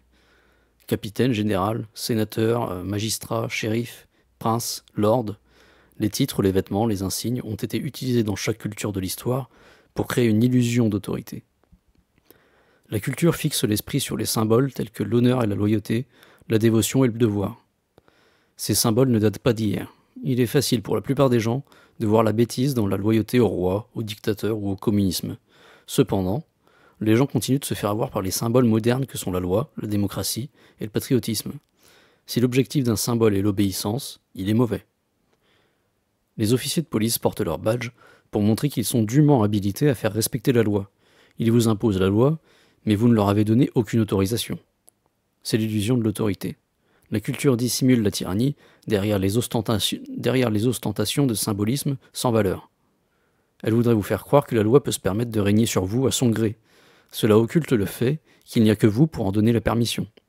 En lieu de ça, elle présuppose cette permission par droit de naissance ou par la géométrie de votre foyer relativement aux frontières. C'est une illusion. Si la loi était réellement l'agent autorisé à défendre ou à produire, elle devrait avoir reçu la permission de chaque individu qu'elle prétend représenter elle aurait à laisser chaque personne qui ne l'approuve pas s'échapper de l'autorité si elle manquait à son devoir. La loi ne demande aucune autorisation et ne le fera jamais. Elle ne vous représente pas, elle représente le mal. Titre L'argent et la cupidité. L'argent est bon. La culture a inventé des mensonges sur le mal de l'argent pour que l'autorité puisse plus facilement le revendiquer. L'autorité peut s'emparer de vos ambitions, d'améliorer votre vie, en diabolisant votre labeur. La culture inculque aux gens que désirer un confort supérieur est égoïste et cupide. Elle inculque que l'argent est un mal mystérieux. Plus l'argent est réprouvé, plus il est facile de vous le voler. La cupidité n'existe pas chez les gens libres.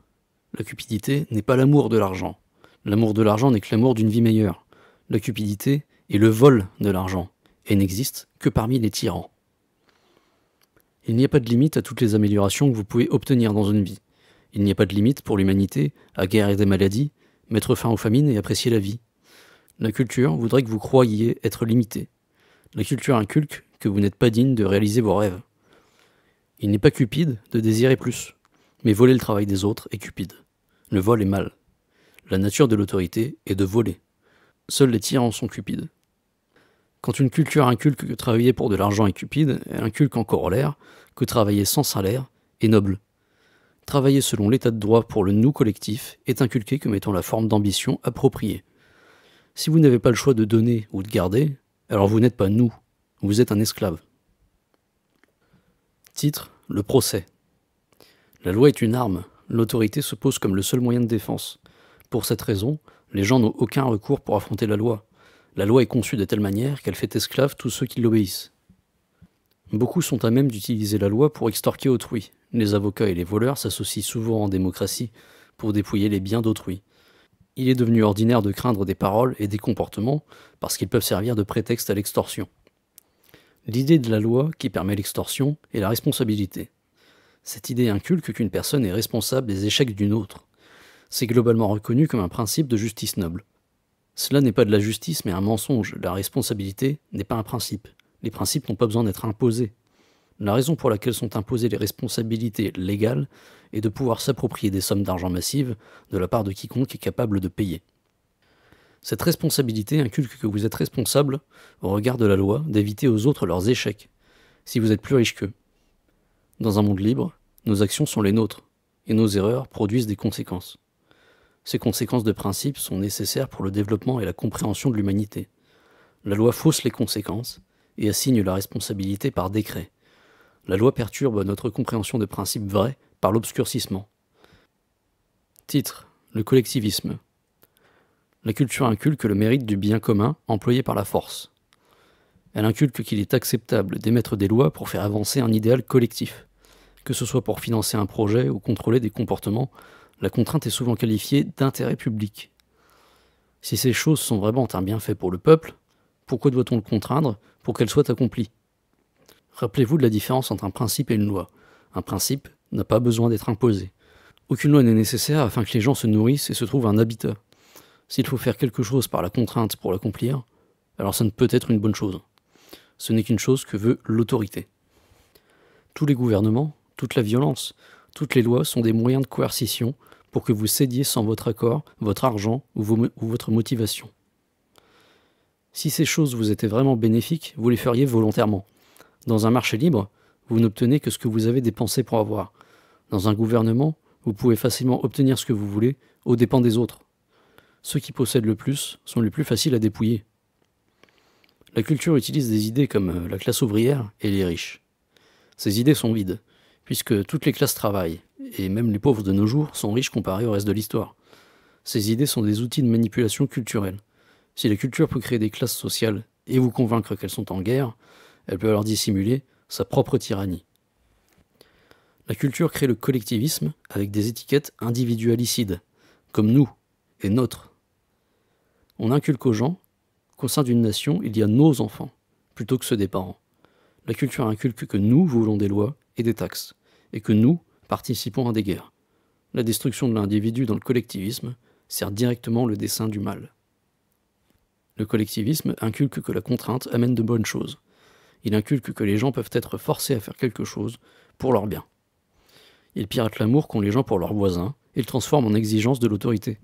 Le résultat en est l'esclavage. Si un individu ne choisit pas quelque chose, alors ce n'est pas bon pour lui. La coercition abat l'esprit humain. Le choix est porteur de vie. Titre La moralité et les valeurs. Le mal n'est pas dans la bêtise de l'être humain, il est dans son esclavage. La loi usurpe la moralité. La culture inculque l'infaillibilité suprême de la loi afin de contraindre à l'obéissance. Même lorsque la loi a tort, la culture inculque que l'action morale est de lui obéir. La loi se permet d'imposer la précaution aux gens en la nommant moralité. C'est la tromperie par excellence. La moralité est liberté. La loi détruit la liberté et appelle ça la moralité. La liberté est le remède de l'imprudence. Tous les maux de la société que la loi prétend corriger existent parce que les gens ne sont pas libres d'apprendre et évoluer. En ayant une capacité d'évolution limitée, les principes sont mal compris, et les comportements idiots en sont le résultat habituel. La liberté apporte la sagesse, la paix et la prospérité. L'histoire de la liberté le démontre clairement. La force et la contrainte détruisent la valeur des personnes et épuisent leur volonté. Le mal vous arrache la souveraineté que vous possédez sur votre vie. Rien de juste et de bon ne peut venir de la destruction de la liberté. Titre Un esprit saint. La culture inculque que seuls les dingues et les délirants défient l'autorité. La loi est l'emblème le plus sacré de la culture. La démence n'est pas l'incapacité de percevoir la réalité, c'est le rejet volontaire de la réalité, en faveur des constructions artificielles de la tyrannie. La loi menace de violence tous ceux qui refusent de lui obéir. Quand vous choisissez d'agir en vous basant sur une vision artificielle de la réalité, vous êtes dément. Les gens obéissent à la loi par peur de la mort, jusqu'à ce qu'ils soient suffisamment éduqués pour accepter l'état de droit sans le questionner. L'endoctrinement culturel est une démence. La définition de la démence est l'obéissance aveugle. Il est délirant de croire que ceux qui ont le pouvoir sur le peuple se trouvent à leur juste place. Il est délirant de penser qu'ils y seront toujours. Il est délirant de croire que la loi a le droit d'ordonner l'obéissance des gens. La culture de la royauté, du, patriotisme et de la loi sont toutes démentielles. Aucun individu ne comprenant entièrement sa propre valeur n'accepterait jamais la notion que quelqu'un ait le droit de le gouverner. C'est le rôle de la culture de voiler aux gens leur propre valeur et de couvrir leurs oreilles à tout discours qui la leur enseignerait.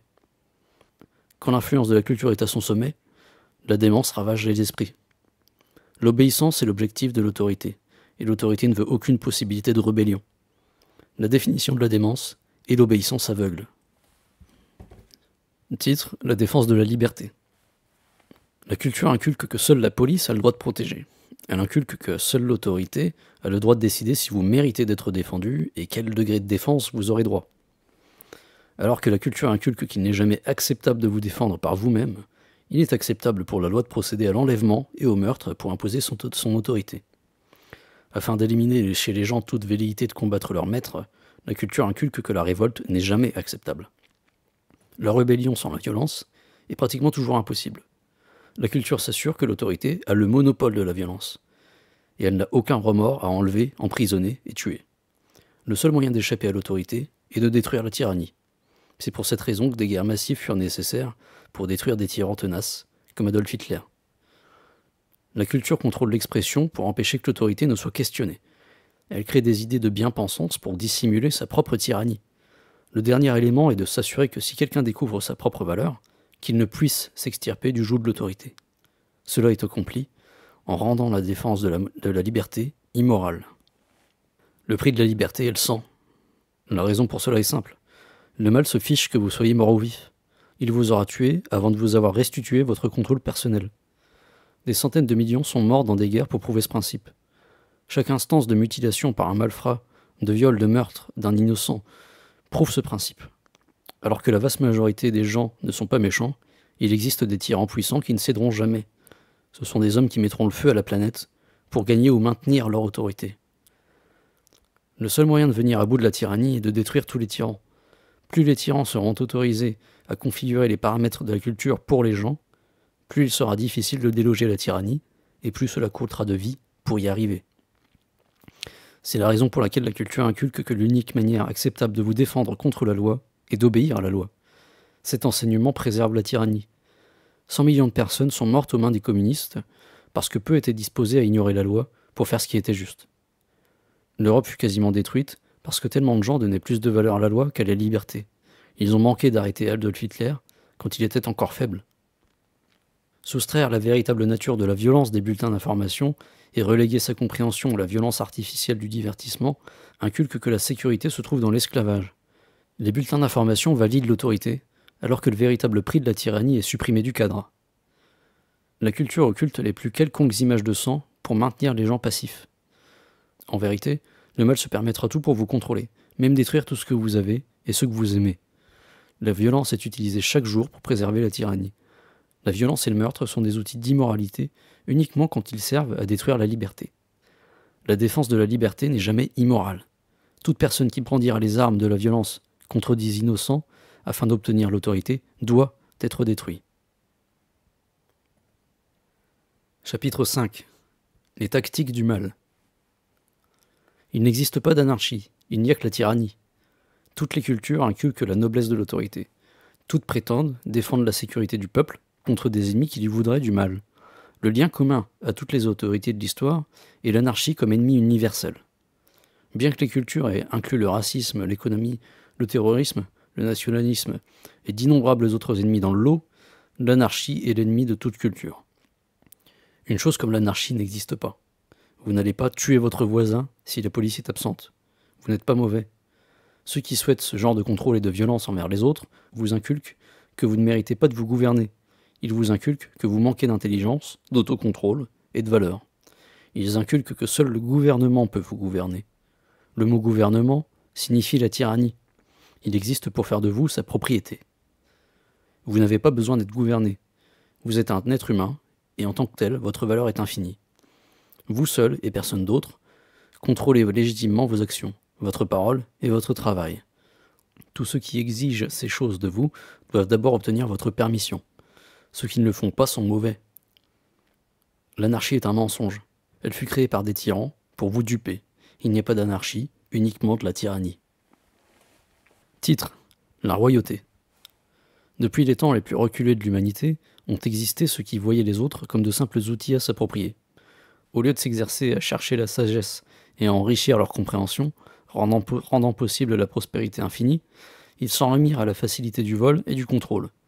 À leur état primitif, ces hommes usèrent de la supériorité physique et de la menace de violence pour faire abdiquer de peur les autres. Leurs exigences étaient simples l'argent. Les plus forts pouvaient vivre sur le travail des autres. Le succès de tels hommes se mesure dans les termes que la culture moderne emploie à leur égard. Certains sont des malfrats et des brutes, d'autres des barbares et des bandits. À cause de son succès limité et de sa brutalité interminable, ce genre de mal n'a que rarement tenu les gens sous son joug dans la longue durée. Les révoltes et luttes de pouvoir étaient courantes. Il était extrêmement difficile pour quelqu'un de conserver son empire sur l'extorsion des gens. À mesure que l'histoire progressa, des hommes considérablement plus rusés conçurent l'élément de contrôle nécessaire à la stabilité du pouvoir sur autrui. Cet élément est la culture. Au lieu de l'extorsion et de la brutalité, ils créèrent les notions de droit légitime et de royauté. Leur objectif était d'écarter les gens de la révolte en leur inculquant que l'autorité était légitime. C'est le seul objectif de toute culture. Pendant des milliers d'années, la culture de la royauté réduisit toute l'humanité en esclavage sous les titres de chef, roi et empereur. Chaque titre de noblesse était conçu pour consolider l'image de loyauté familiale. Ceux qui sont naturellement respectueux envers les membres de leur famille furent inculqués que la royauté était la famille supérieure. Dans toutes les cultures, le roi était vu un peu comme un père et un peu comme un dieu. L'idolâtrie de la famille est la clé de voûte de la royauté. Il fut inculqué aux gens qu'obéir à la noblesse était la plus haute forme de respect envers leurs parents. L'objectif de la culture était de fausser la compréhension des gens afin qu'ils crussent que les extorqueurs tenaient une place légitime dans leur vie il en résulta que les gens ne se rebellaient que rarement. Tous les aspects de la culture de la royauté inculquaient aux gens des notions comme la noblesse, la fidélité, le devoir et l'honneur. Toutes ces idées sont des mensonges. Elles sont conçues pour inculquer aux gens que leur valeur est inférieure à celle d'un roi. Sans les parures de la culture, il ne serait rien d'autre qu'un bandit s'appropriant vivre et travail à la pointe de l'épée. Avec elle, il est Sa Majesté, le roi. Chaque culture est un mensonge conçu spécifiquement pour maintenir les puissants au pouvoir. Titre L'histoire de la liberté. Alors que l'ère des rois se concluait, les cultures commencèrent à se désintégrer et la liberté grandit. Ce fut précipité par deux attaques très puissantes et spécifiques contre la royauté, la Magna Carta et la Déclaration d'indépendance. Chaque fois que les cultures sont attaquées, les gens commencent à en apprendre plus sur leurs valeurs. Quand la rébellion se propagea parmi les personnes de grand courage, la culture perdit son emprise et les gens furent capables de voir qu'aucun roi ne pouvait réclamer leur obéissance. Leurs yeux commencèrent à s'ouvrir sur leurs propres valeurs. Les architectes du mal comprirent que le monde avait enfin appris à voir au-delà de la culture et de la royauté. À la vitesse phénoménale de quelques générations, ils conçurent la culture des nations pour la remplacer. Sous le couvert des nationalités, les gens sont esclaves des frontières plus qu'à n'importe quel moment dans l'histoire. Le pouvoir de mon roi a été remplacé par le culturellement supérieur mon pays. Les nations ont causé plus d'hécatombes et d'esclavage que n'importe quel degré de royauté jamais imaginé. L'histoire de la liberté nous montre que même alors que les nations deviennent puissantes, les leçons culturelles de la royauté ont été apprises. La liberté avance partout dans le monde à mesure qu'augmente sa population. Des cultures sont détruites régulièrement par la liberté, et les leçons de chaque nouvelle tactique de Dupri sont apprises à travers le monde. La violence des nations s'intensifie à mesure que s'élèvent les clameurs de la liberté. Des centaines de millions furent tués et des milliards asservis dans l'histoire récente. Tout cela dans une vaine tentative d'hommes malfaisants de rester au pouvoir. Alors que la stabilité de leurs empires est à l'épreuve, ils font pleuvoir le sang sur la tête de leur protectorat. L'histoire de la liberté nous montre qu'une telle violence n'est pas le signe de la prospérité du mal, mais sa sentence de mort. La violence et l'application coercitive de la loi ne sont nécessaires que quand l'esprit des gens échappe à l'emprise de la culture. La mort des rois, les transitions des nations, les mutations de la culture et la violence des gouvernements sont les preuves de la fin du mal. Les autorités de tout genre se débattent pour rester à la surface dans un monde qui apprend à les noyer définitivement. Dans le monde où vous et moi vivons, la guerre est déjà gagnée. Il nous reste à regarder le mal mourir. Titre Les nations. Les nations sont des corps génériques de la culture qui s'avèrent redoutablement efficaces pour les autorités. Les nations se servent des points communs de la race, de la langue et de l'héritage pour convaincre de leur propriété sur le peuple. Leur seul agent partagé est la frontière. Quand les cultures de la royauté se désintégrèrent, les nations furent créées pour les remplacer. L'autorité visait la même stabilité d'extorsion que lui avaient procuré les royaumes, mais elle avait besoin d'échapper à la compréhension que les peuples eurent acquis sur la tyrannie de la royauté. Ils créèrent un nouvel ennemi, dénominé eux, et une nouvelle culture dénominée nous. Les nations dessinèrent des lignes sur le globe et finirent par phagocyter chaque parcelle de terre où l'homme put s'aventurer. Tous ceux qui vivent entre ces lignes sont la propriété de l'État. On leur dit qu'ils possèdent leur gouvernement par le moyen de la démocratie, du communisme, de la théocratie et de la race. On leur inculque que leurs nations leur appartiennent. C'est la culture du nous. En réalité, c'est leur nation qui les possède. Les nations sont créées et les frontières sont dessinées pour rendre stable l'autorité, alors que la royauté améliorait sa stabilité en convainquant le peuple qu'il devait fidélité à l'autorité, les nations allèrent encore plus loin en inculquant au peuple qu'il était l'autorité lui-même. Les cultures nationales dupent l'esprit des gens pour mieux s'approprier leurs ressources et les contrôler. Aussitôt que vous donnez de la crédibilité à une institution prédatrice, vous devenez sa proie. Déguisés en moutons, ils vous feront à croire qu'ils vous défendent contre l'anarchie ou n'importe quel autre n'importe quel autre ennemi qu'ils auront inventé. Leur loi ne mentionne pas ses ennemis, elle vous mentionne. Combien d'argent vous devez et quel service vous devrez leur rendre. Le gouvernement est un agent de coercition. Dès que le pouvoir est remis à l'autorité, aussitôt que vous lui avez donné la permission de prendre les vies et les libertés, elle devient un agent du mal. Les méchants qui veulent obtenir une autorité sur vous ne combattront pas le gouvernement. Tout ce que veut le mal est d'avoir le pouvoir sur vous. Le mal cherche naturellement sa place dans le gouvernement. Beaucoup de formes de nations ont été créées, avec différents degrés d'efficacité dans leur contrôle. Sans exception, les gouvernements les plus forts sont ceux dont la culture convainc le mieux son peuple qu'il est son propre gouvernant. Les autres ne tardent pas à tomber. C'est pourquoi les démocraties sont la forme de nation la plus forte qui existe. Elles apparaissent en dernier. Titre Le communisme et le socialisme. Le socialisme, le communisme et l'État-providence ont tous des applications différentes historiquement et idéologiquement. Malgré cela, ils sont une même chose. Ils inculquent tous aux gens qu'ils sont incapables de produire suffisamment pour subvenir à leurs besoins. On leur donne pour ennemis l'avidité et la misère pour justifier le besoin de l'autorité dans leur vie. Le communisme est la deuxième forme la plus efficace du mal qui a jamais existé, et c'est celle qui a causé le plus de destruction. Le communisme a inculqué que le peuple a besoin d'égalité des biens matériels plutôt que la liberté de créer. Le communisme avait coutume de mentir en disant que le peuple serait en partie propriétaire du gouvernement afin d'engranger son soutien pour le travail d'esclaves et la militarisation. Quiconque comprend la mise en œuvre du communisme, ou d'autres constructions similaires, devrait facilement y voir le mal. Il n'y a rien de mal dans une communauté qui s'entraide. Il n'y a de faute ni dans le sacrifice ni dans le don. Mais comme dans toutes les cultures, ces idées étaient des mensonges.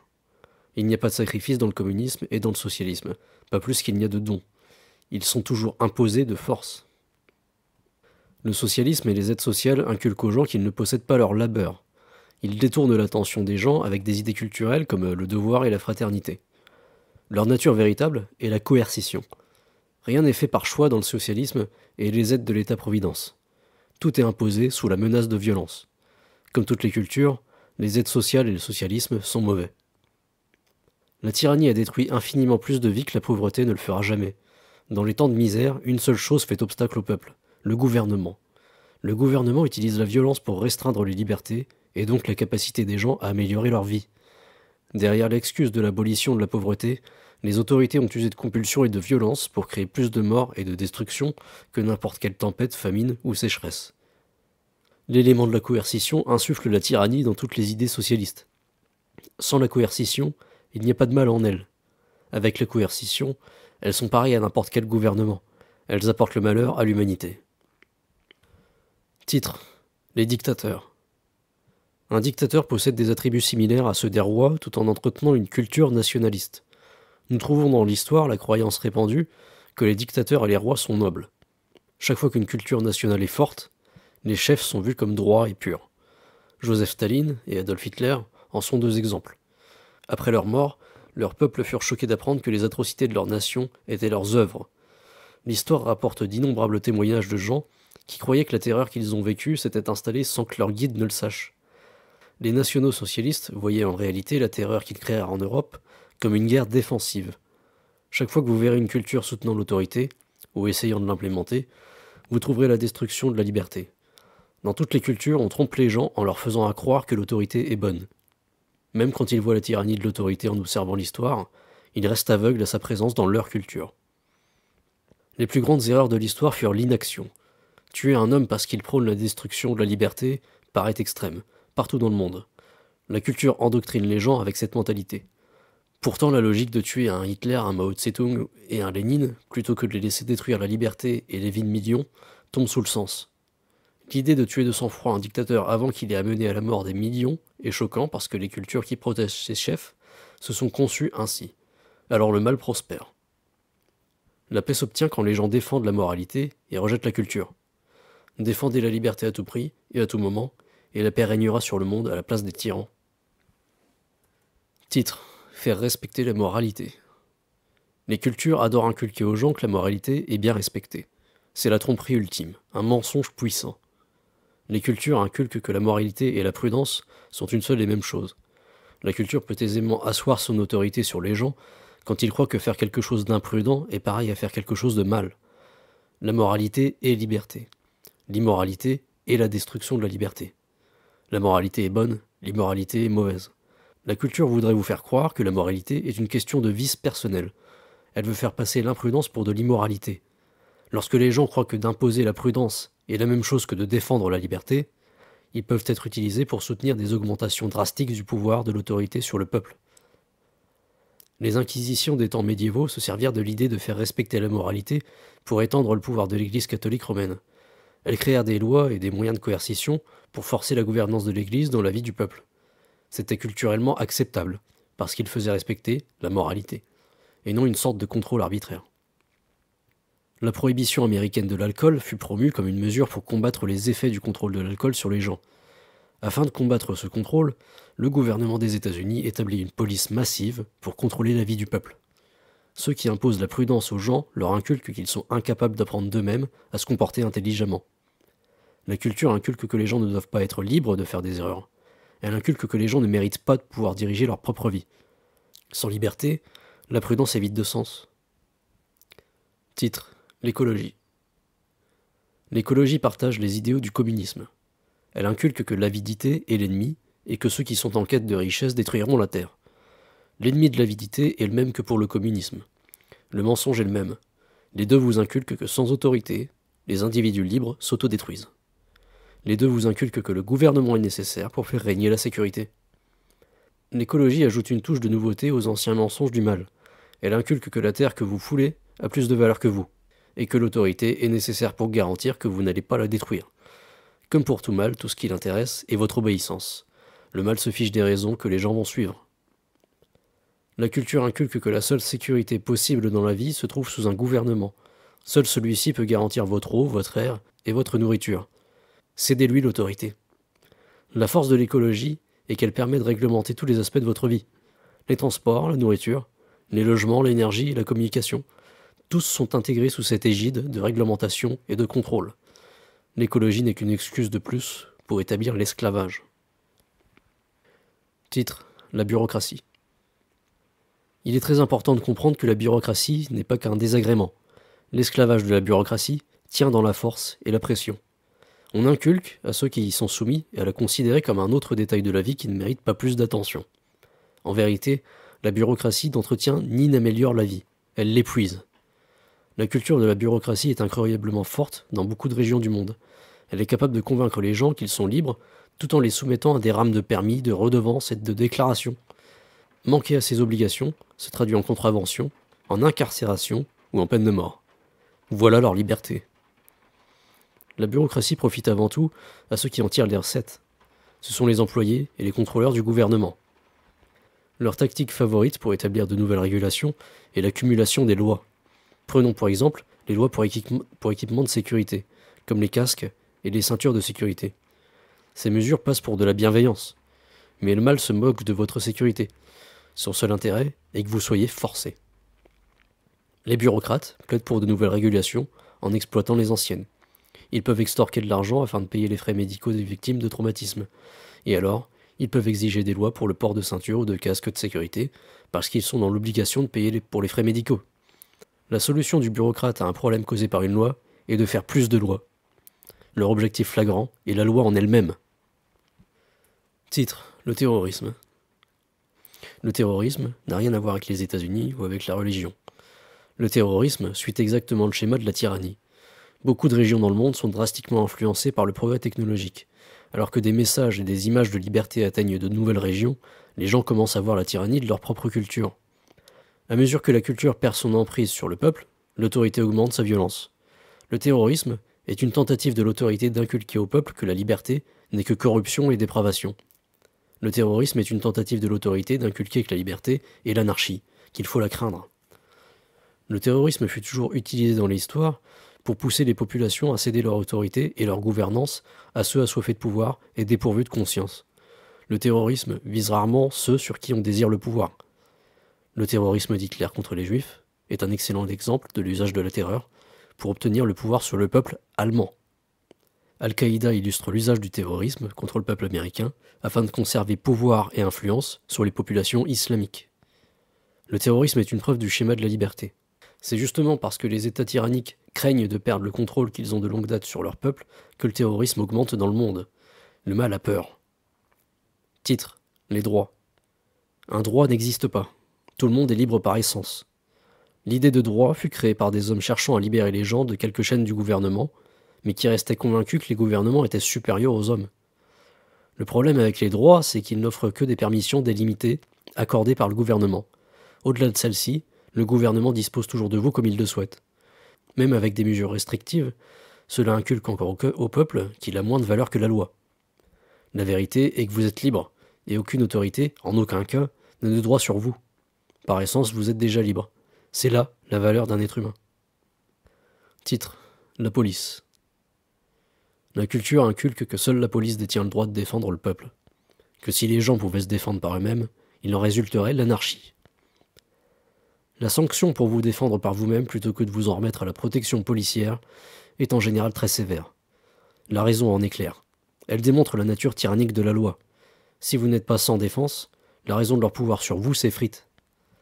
Le dessein de la police n'est pas de défendre votre liberté, mais d'assurer la stabilité des moyens d'extorsion. Les lois ne disent pas ne tue pas, ne viole pas, ne vole pas. Elles sont plutôt des volumes et des volumes de détails contrôlant tous les aspects de votre vie et détruisant la liberté partout où elles vont. Chaque agence du gouvernement sont les agents de ces lois. La loi n'est pas juste, pas plus que ses agents. C'est une erreur de respecter aveuglément la police comme noble et courageuse. Les lois sont conçues pour contrôler, pas pour protéger. Un agent de police du gouvernement peut croire que ce qu'il fait est juste. C'est précisément ce que la culture veut qu'il croie. Chacun parmi les centaines de millions qui sont morts aux mains du gouvernement l'ont été légalement. La loi n'est pas la moralité. Les lois, les règles, les régulations sont en elles-mêmes peu dangereuses pour l'humanité. Elles présument qu'une autorité vous commande, et la culture se charge de vous y faire obéir. mais elle finirait par être ignorée à mesure que les gens expérimentent et découvrent la liberté. C'est l'imposition violente de la loi qui porte le mal ultime. La coercition est le noyau de la loi, puisque toutes les lois la nécessitent afin de contrôler les gens. Se conformer à la police est une invitation à la tyrannie. Toutes les cultures de l'histoire ont inculqué au peuple que la police est noble et bénéfique. Les chevaliers du Moyen Âge justifiaient leur tyrannie en l'appelant chevalerie. Les terroristes justifient la leur en l'appelant religion. Peu importe quelle culture vous observez, vous y trouverez la croyance que les agents de la loi sont bons. La vraie question n'a rien à voir avec la noblesse de ceux qui appliquent la loi. Il s'agit plutôt de la noblesse de la loi. Supposer la rectitude des agents qui appliquent la loi est précisément le but des cultures, parce qu'elles justifient ainsi la nature de la loi. Cette invitation est surexploitée par les dictateurs de l'histoire, les rois et les mafias. Quel meilleur endroit pour cacher les atrocités, petites et grandes, que le même groupe d'hommes armés qui détient le monopole de la violence et du respect? La sanction de la désobéissance à l'autorité est toujours la mort. Tous ceux qui se sont ouvertement rebellés contre les pouvoirs établis dans l'histoire furent tués. Aujourd'hui, même dans les nations libres, des hommes sont tués pour s'être rebellés, si l'intimidation ne suffit pas à vous faire obéir, il vous menace. Si la menace ne suffit pas, il vous enlève et vous emprisonne. Si cela échoue, il vous assassine. Quelle loi vous avez enfreint est sans importance? Même une loi dérisoire comme un PV. Ne freinez pas, résistez à l'arrestation, tentez de vous échapper ou débattez-vous. Cela arrive régulièrement. La sanction sera la mort. Note du traducteur, je rappelle que le texte est écrit par quelqu'un qui vit aux États-Unis. Hein. Titre Le prix du gouvernement. Les sanctions les plus sévères de la loi ne sont pas réservées à ceux qui représentent un danger pour vous, mais à ceux qui ne payent pas le prix de la protection. L'unique but du mal est de vous rendre esclave, de détruire votre liberté pour vous faire de vous l'outil de quelqu'un d'autre. Tout comme les raquettes de mafieux réservent de brutaux passages à tabac à ceux qui ne payent pas leurs taxes, les gouvernements les plus élaborés du monde utilisent un système de menaces, d'abus, d'intimidation, d'emprisonnement et de peine de mort pour s'assurer que les impôts seront payés. Ceci n'est pas une parenthèse. C'est exactement le but pour lequel les cultures et la loi sont créées, pour sacrifier votre labeur au bénéfice de vos maîtres. Quand la loi confronte ses rivaux, elle les qualifie de criminels et de racketteurs. La définition du racket et la création d'une menace est d'y apporter une protection en échange d'argent. Ce genre de racket est un esclavage institutionnalisé. Les mafias et les gouvernements suivent le même procédé. L'histoire nous montre que le nom donné à l'un et à l'autre dépend simplement duquel est le meilleur extorqueur. Titre Résumé les nations revendiquent des individus en fonction de leur lieu de naissance, définis par des lignes géographiques imaginaires. En vérité, une nation est simplement un groupe d'individus armés qui vous tueront si vous ne leur obéissez pas. Les frontières et les surfaces terrestres n'ont rien à voir avec votre valeur en tant qu'être humain. Elles sont créées pour offrir une stabilité aux régnants quand ils règnent sur vous. Nous, entre guillemets, est le mot que la culture s'approprie pour légitimer les frontières et les limitations imposées par la loi. Vous êtes obligé d'obéir à la loi, sous peine de mort, parce que vous faites partie de ce, entre guillemets, nous, définis par des lignes géographiques imaginaires. Ce n'est pas un nous que vous avez rejoint de votre gré, ce n'est pas un nous dont vous pouvez vous échapper. La possession de votre terre, votre famille et vos valeurs sont sans importance pour le nous. Dans ce monde, le seul échappatoire à la tyrannie de ce nous est de le substituer par un autre nous, en supposant que nous, entre guillemets, vous laissera faire. Le mal veut vous faire croire que vous êtes sujet à des frontières. C'est un mensonge. Après des millénaires de rois, ceux qui n'étaient pas de la royauté mais désiraient le pouvoir trouvèrent le moyen de s'en emparer. Les nations ont permis aux méchants de conserver le contrôle sur la culture et la loi, de conserver l'autorité. Hitler a nommé son pouvoir le national-socialisme. Vladimir Lénine appela le sien communisme. Certains s'appellent des empires, d'autres sont des théocraties, d'autres des démocraties. Ils ont tous un point en commun, la suprématie de l'État. Dans les nations, la culture inculque que personne n'est au-dessus de la loi. Et parce que les nations sont définies géographiquement, personne n'échappe à leur loi. Dit plus succinctement, les nations vous inculquent que vous valez moins que la loi. La définition du mal est la destruction de la liberté. Si les gouvernements étaient ce qu'ils prétendent être par le choix, ils ne seraient pas des gouvernements, mais des institutions caritatives.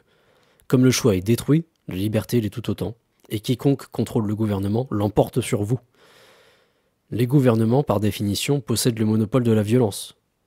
Ceux qui veulent vous dominer ne combattront pas votre gouvernement. Pourquoi le combattre? Quand ce qu'ils veulent est d'obtenir l'autorité sur vous L'institution que recherchent les méchants existe déjà. Il est naturel pour le mal de s'installer au gouvernement. L'histoire nous montre que toutes les nations jamais créées ne sont que des outils qui attendent d'être au service des méchants. Le mal cherche le pouvoir, c'est une vérité immuable. Plus vous conférez de pouvoir à un gouvernement, plus vous y trouverez du mal.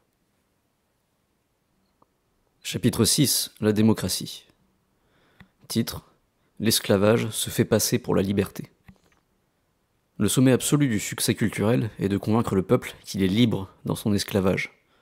La démocratie est une théorie inventée, pas une vérité morale. C'est une construction du mal. Elle fut créée pour usurper la liberté tout en maintenant l'emprise de la loi sur le peuple.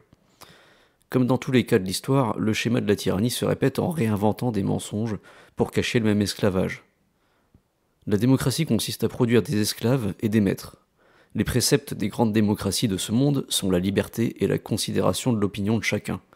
Elles nous disent que les démocraties sont les formes de gouvernement les plus abouties qui puissent exister. Elles donnent pour raison que la démocratie permet à chaque citoyen de donner son avis.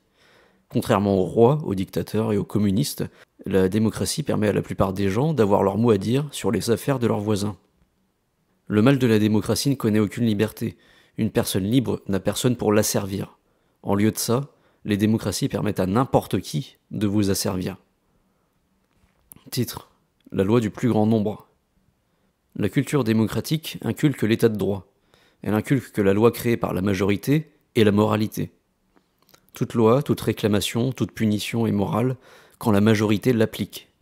Les déformations du concept démocratique, comme les démocraties républicaines et les majorités qualifiées, ne sont pas différentes. Toute loi que font passer des représentants, une majorité, une majorité qualifiée ou d'autres groupes, devient moralité. Si vous pouvez convaincre 50% du peuple de se rendre eux-mêmes ou leurs voisins esclaves, est-ce moral? Si vous arrivez à en convaincre 66%, 75%, 99%, est-ce moral? La source de malheur qui est la loi est un jeu pour le mal. Le mal cherche à contrôler les gens pour détruire leurs valeurs. Il se fiche de savoir qui a servi qui ou pourquoi. Il n'y a aucune moralité dans la loi. La pensée démocratique nous dit que du moment que le groupe de votants légal approuve une loi, il est juste de l'infliger au peuple. Pourquoi la destruction de votre liberté serait-elle acceptable simplement parce que quelqu'un l'a dit? Le mal devient-il juste lorsque davantage de monde le désire? Le mal devient-il juste si tout le monde le désire? La tyrannie d'un seul roi est la même que la tyrannie de cent millions de rois.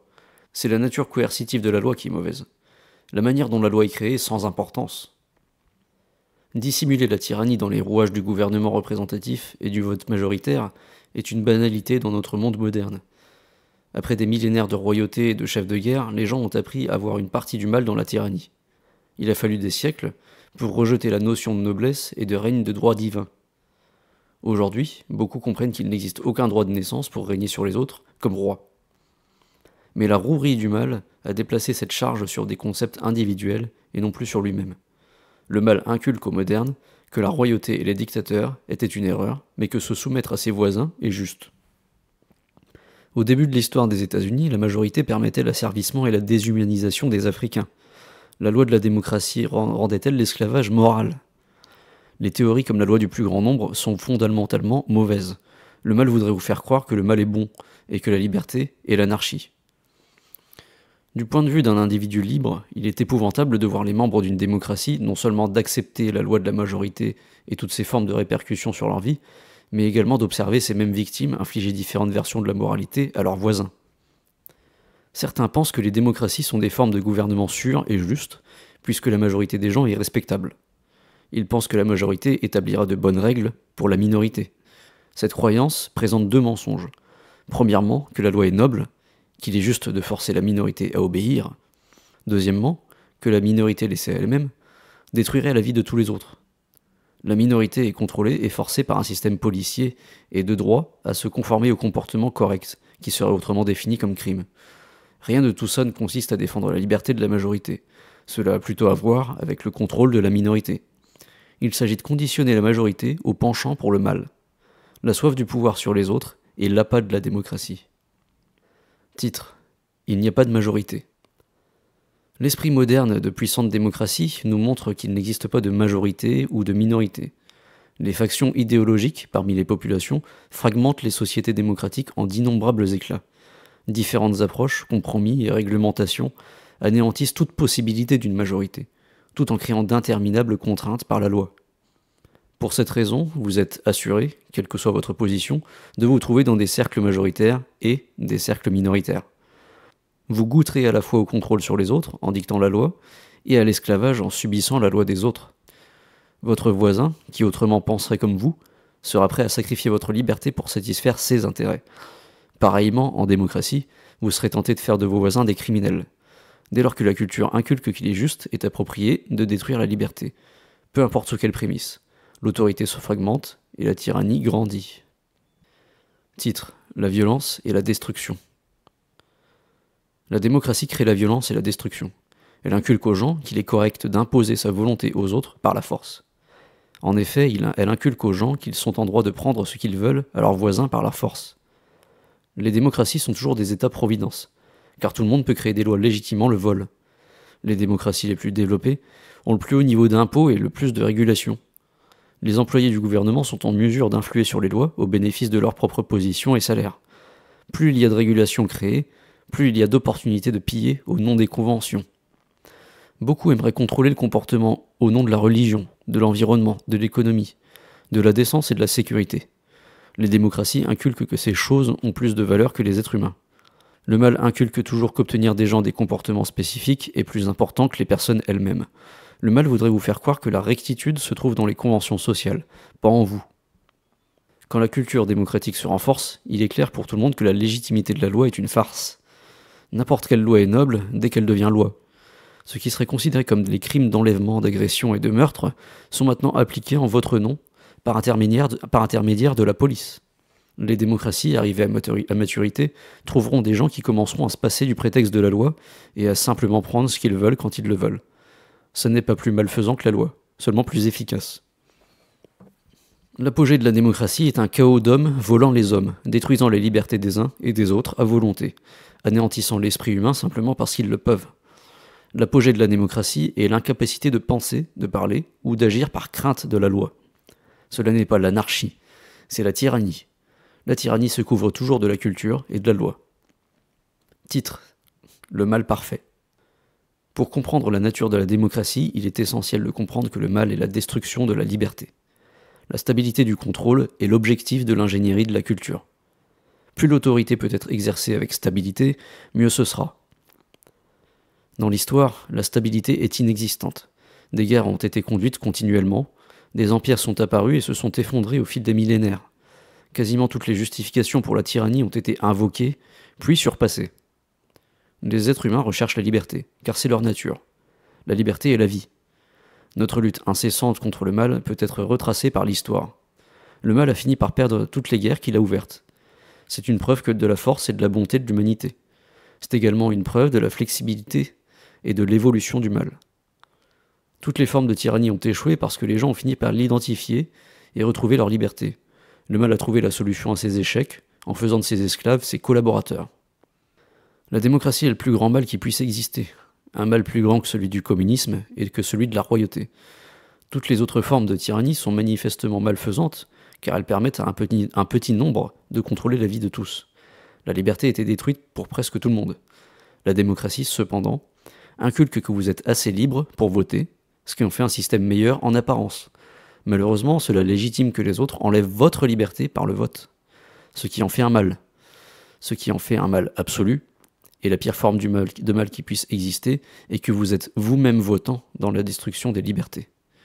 Chacun devient un esclave, et chacun devient le maître d'autres esclaves. C'est le mal parfait. Chapitre 7 L'économie. L'économie est l'étude de l'échange du travail. Les principes de la monnaie sont scientifiques et, comme pour toutes les vérités, sont faciles à comprendre. Les institutions gouvernementales ont créé des idées artificielles telles qu'employés, entreprises ou dollars afin de pouvoir contrôler votre labeur. Leur objectif est de vous embrouiller et de rendre l'argent complexe afin de s'emparer du vôtre plus facilement. Titre Le travail. Tout ce que vous faites pour améliorer votre vie demande du travail. Ça peut être aussi simple que de planter une graine et travailler le sol pour que cette graine vous apporte de la nourriture. Ça peut être laver la vaisselle pour pouvoir manger dans un plat propre. Ça peut être monter une pente pour ensuite la dévaler. Tout ce que vous faites, vous le faites pour votre bien ou celui de ceux que vous aimez. Titre L'échange ou le commerce. Je ne savais pas quel terme choisir pour cette traduction. Vous pouvez ne pas être doué pour fabriquer les choses que vous voulez. Vous pouvez ne pas vouloir cultiver votre propre nourriture.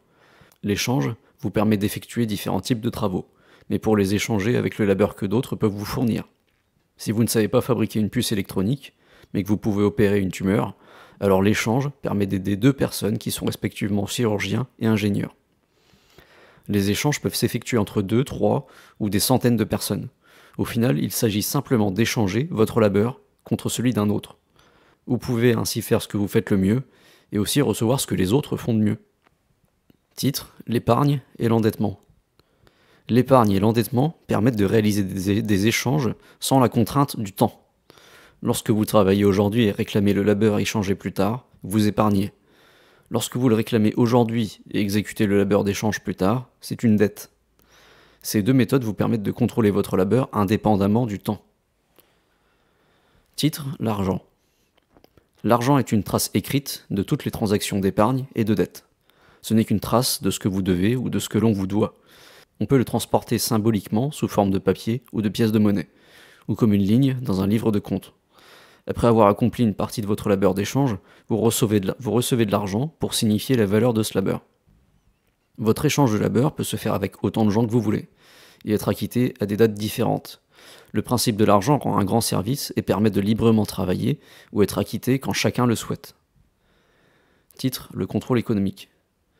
Il existe des gens qui voudraient utiliser votre labeur pour leurs propres intérêts, sans rien vous rendre en retour. L'objectif du contrôle économique est de contrôler votre labeur autant que possible. Titre L'imposition. Dans la plupart des échanges économiques qui ont lieu dans le monde, une tierce partie est présente. Elle n'apporte rien aux deux autres parties et ne laisse aucun choix quant à sa participation. Un impôt est quand quelqu'un prend de l'argent qui ne lui appartient pas. Les impôts ne sont pas un principe, mais une loi, car ils détruisent la liberté et doivent être imposés. Parmi ceux qui taxent, on trouve de simples voleurs, et les autres sont des gouvernements puissants. Titre L'extorsion. La corruption de l'économie s'appelle l'extorsion. Quand vous travaillez mais que quelqu'un réclame votre travail sans votre permission, c'est un impôt. Imposer quelqu'un et voler une part de son travail, ou sa totalité. Sous imposition, vous travaillez, mais ne gagnez rien en retour. Quand bien même on prétend que cet argent sera dépensé pour votre bien, vous n'avez aucun choix sur ce que votre labeur financera. Sous l'imposition, l'extorqueur est le maître et vous êtes l'esclave la quantité de temps qu'on vous vole importe peu. L'esclave d'une heure ou l'esclave d'une vie reste un esclave. Ne pas payer est sanctionné d'emprisonnement ou de mort. Les impôts existent sous de nombreuses formes. Le plus simple consiste à voler votre argent sans que vous le sachiez. Cela s'appelle le vol, et il est pratiqué par des criminels ordinaires. Le plus populaire, et entre parenthèses le plus profitable, des impôts, consiste à vous prendre une portion de votre travail lorsque vous le produisez, l'échangez ou l'économisez. C'est la forme que les gouvernements et les mafias utilisent. Il existe une autre forme terriblement sournoise et difficile à voir. La restriction des conduites pour vous pousser à faire ce que veut l'autorité et l'imposition. Par cette méthode, elle n'a pas à s'embêter avec l'argent et vous force directement à accomplir sa volonté. Cette forme d'impôt porte bien des noms, parmi lesquels le contrôle des prix, la régularisation, la bureaucratie, la paperasserie, les formalités, la supervision, la sécurité sociale, les travaux publics et le bien public. Une imposition efficace est fonction du temps, un voleur ordinaire vous volera autant d'argent que possible dès aujourd'hui. Le lendemain, vous serez complètement démuni et il ne lui restera rien à voler. De plus, vous fuirez, ou vous trouverez une façon de vous protéger à l'avenir. Les gouvernements sont bien plus perfectionnés. Ils vous laissent garder une part de votre labeur, suffisamment pour que vous ne fouilliez pas ou, ou ne vous révoltiez pas, et préfèrent vous laisser travailler là où ils pourront encore vous extorquer le lendemain. Les impôts fluctuent constamment à mesure que les gouvernements testent s'ils peuvent extorquer davantage ou non leur sujet. Si le peuple ralentit ou ne travaille plus, alors les impôts se trompent élevés. La culture est paramétrée pour suivre l'augmentation des impôts et inculquer au peuple la noblesse du gouvernement et de l'esclavage. Comme l'imposition dépend du temps, ils peuvent vous prendre non seulement un pourcentage juteux de votre argent dès aujourd'hui, pour le reste de votre vie, mais aussi toutes sortes d'intérêts sur votre labeur. L'imposition du gouvernement est le racket le plus efficace qui ait jamais existé, le génie diabolique vient de la culture. La plupart des citoyens, entre, guillemets, trouvent respectable de payer leur maître. Titre Gagner un salaire, échanger, épargner. L'imposition est rendue obscure dans tous les domaines de votre vie. La plus facile à voir est lorsque votre argent vous est pris en même temps que vous le gagnez. L'impôt sur le revenu, les régulations et les restrictions gouvernementales permettent à l'extorqueur de voler votre labeur avant même que vous en profitiez. Vous êtes son serviteur. Il vous laisse les miettes, quel que soit le pourcentage de liberté ou de labeur qu'il vous accorde. Les extorsionnistes prennent un pourcentage supplémentaire chaque fois que vous échangez votre labeur. Ils les appellent taxes de vente, taxes sur l'essence et d'autres noms du genre. Vous avez moins que ce que vous avez produit parce que on vous a déjà pris un gros, on vous en a déjà pris un gros pourcentage. Et maintenant, quand vous allez réclamer votre nourriture, votre foyer, vos soins et votre confort avec votre labeur, on vous en prend encore. Ce n'est pas tout, car ils brident le choix de ce avec quoi votre labeur s'échange. Ils vous disent ce qui est en vente légale, entre guillemets, et à quelle quantité et parfois à quel prix. Une fois gagné, dépensé ou épargné, votre argent et votre propriété ne sont toujours pas hors d'affaires. La taxe foncière et les frais de licence annuels vous confisquent encore un pourcentage de votre travail, comme un privilège de la propriété sur votre propre argent. Vous avez acheté une maison, puis une voiture, mais en réalité, vous ne faites que les louer au gouvernement. Essayez de ne pas payer vos impôts et vos redevances si vous n'y croyez pas. Vous serez vite mis à la rue. Tout ceci est fait pour que vous continuiez de travailler demain pour entretenir vos maîtres, tant que vous ne prenez pas une retraite anticipée. Votre argent épargné n'est pas garanti non plus. Chaque gouvernement contrôle la forme de sa monnaie, entre parenthèses comme c'est le cas du dollar américain, et il est illégal d'échanger avec toute autre devise. L'inflation est planifiée par les gouvernements pour ronger peu à peu votre épargne, à mesure qu'ils dépensent votre argent dans les déficits gouvernementaux. L'inflation assure également qu'à mesure que votre épargne est rongée, vous devrez continuer à travailler, perpétuant ainsi le cycle de l'imposition. Rappelez-vous que la raison pour laquelle vous travaillez est pour votre avantage et celui de vos proches. Pourtant, parce qu'ils sont plus puissants que vous, un grand nombre de gens ont réussi à vous forcer à travailler pour leur avantage. C'est le contrôle par l'économie. C'est le but du gouvernement. Les gouvernements sont des institutions prédatrices. Titre La culture économique. Ne vous y trompez pas. Vous êtes un esclave et le gouvernement est votre maître. Le génie de vos maîtres est qu'à l'opposé de l'esclavage, conventionnel entre guillemets, il vous laisse croire que vous gagnez ce pour quoi vous avez travaillé et que vous possédez ce que vous achetez. Cela vous garde satisfait et disposé. L'imposition dépend du temps. Ils vous prendront ce qu'il faut aujourd'hui pour que vous continuiez de travailler à leur profit demain. Les idées culturelles comme fonctionnaires, travaux publics, biens publics, protection des citoyens et sécurité sociale illustrent leur sournoiserie. Ils ont convaincu les gens que de voler leur argent sous la menace de mort est une chose souhaitable. N'oubliez pas que c'est pour votre bien. Des constructions comme employés, boulot, entreprise et monnaie ayant cours sont des raquettes élaborées par des extorqueurs extrêmement compétents afin de brider les comportements et confisquer les biens. Un employé est une personne effectuant un travail en échange d'argent. Même chose pour un entrepreneur, un contractuel ou un vide-grenier. Vous effectuez un travail en échange du travail d'un autre. Vous produisez de la richesse pour nourrir votre famille et améliorer votre vie.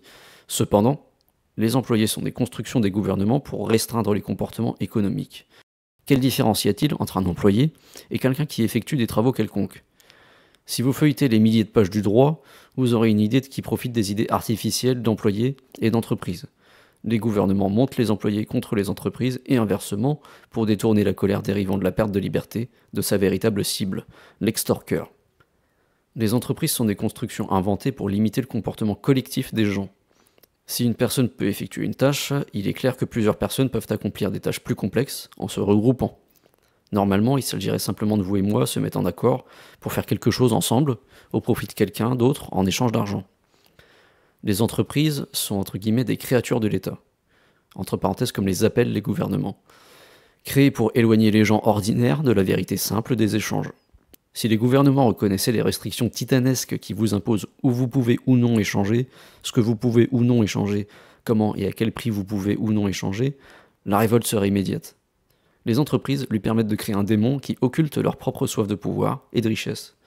Les entreprises attirent aujourd'hui la colère du peuple pour être pollueuses, cupides et exploitatrices. Alors qu'en vérité, une entreprise, ce n'est que vous et moi qui échangeons du travail. Tout cela est élaboré pour dissimuler le racket le plus perfectionné de l'histoire. Les cartels et les monopoles. Un monopole est dénoncé comme un mal parce qu'il détruit le choix des consommateurs. Les gouvernements nous disent que les monopoles vous force à acheter un produit donné à un prix donné. En réalité, il n'y a aucune contrainte. Vous avez au moins deux choix. Premièrement, ne simplement pas acheter le produit. Deuxièmement, créer votre propre société pour créer ce produit. Face au mal supposé d'un monopole, quelle solution offrent les gouvernements? Le contrôle gouvernemental. Le gouvernement est le seul véritable monopole. Vous ne pouvez choisir d'acheter ou non leur entre guillemets service. S'en désengager s'appelle de la trahison et de l'évasion fiscale, et l'autorité viendra à votre porte, arme à la main. Vous serez emprisonné ou exécuté. Le gouvernement est le seul véritable monopole, et leur monopole est un monopole de la violence. Ce sont les individus à qui on nous inculque de confier notre autorité sur nos biens et nos services. Diaboliser les entreprises comme étant des monopoles suit exactement le schéma de la tyrannie. Créer un ennemi et prendre le contrôle. Un cartel est lorsque les forces d'une économie s'assemblent pour empêcher quiconque de pénétrer le marché. De même que pour un monopole, cela n'est possible qu'avec le gouvernement.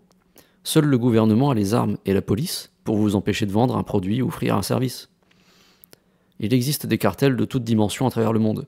Ils se concentrent normalement sur une industrie dans un pays donné. Par exemple, une agence gouvernementale qui contrôle la vente des médicaments et les services de santé dirige un cartel. En accordant des licences, les formulaires et les frais de gouvernement deviennent le barrage à l'entrée sur le marché. Le gouvernement maintient, efficacement le marché existant et vous en exclut. Si vous tentez d'agir librement, hors du cadre légal, vous serez emprisonné ou tué. Beaucoup de grands groupes apprécient les cartels car les gouvernements s'associent à eux pour éliminer la compétition. Les lois et les réglementations qu'on dit aux gens d'accepter ne font aucun tort aux grands groupes. Seuls les grands groupes peuvent se permettre les prix des réglementations. Certaines personnes pensent qu'elles donnent un savon aux grands groupes en promulguant des lois sévères. Mais elles sont en fait les pions de la culture et souffriront elles-mêmes de ces lois. Les réglementations préservent la puissance des grands groupes et envoient les autres à la banqueroute. C'est la nature d'un cartel gouvernemental. Il n'existe pas d'autre cartel. Titre Le choix. L'imposition est défendue par la culture comme le moyen de pourvoir aux besoins sociétaux. Mais les besoins sociétaux ne pourront jamais être pourvus par la force.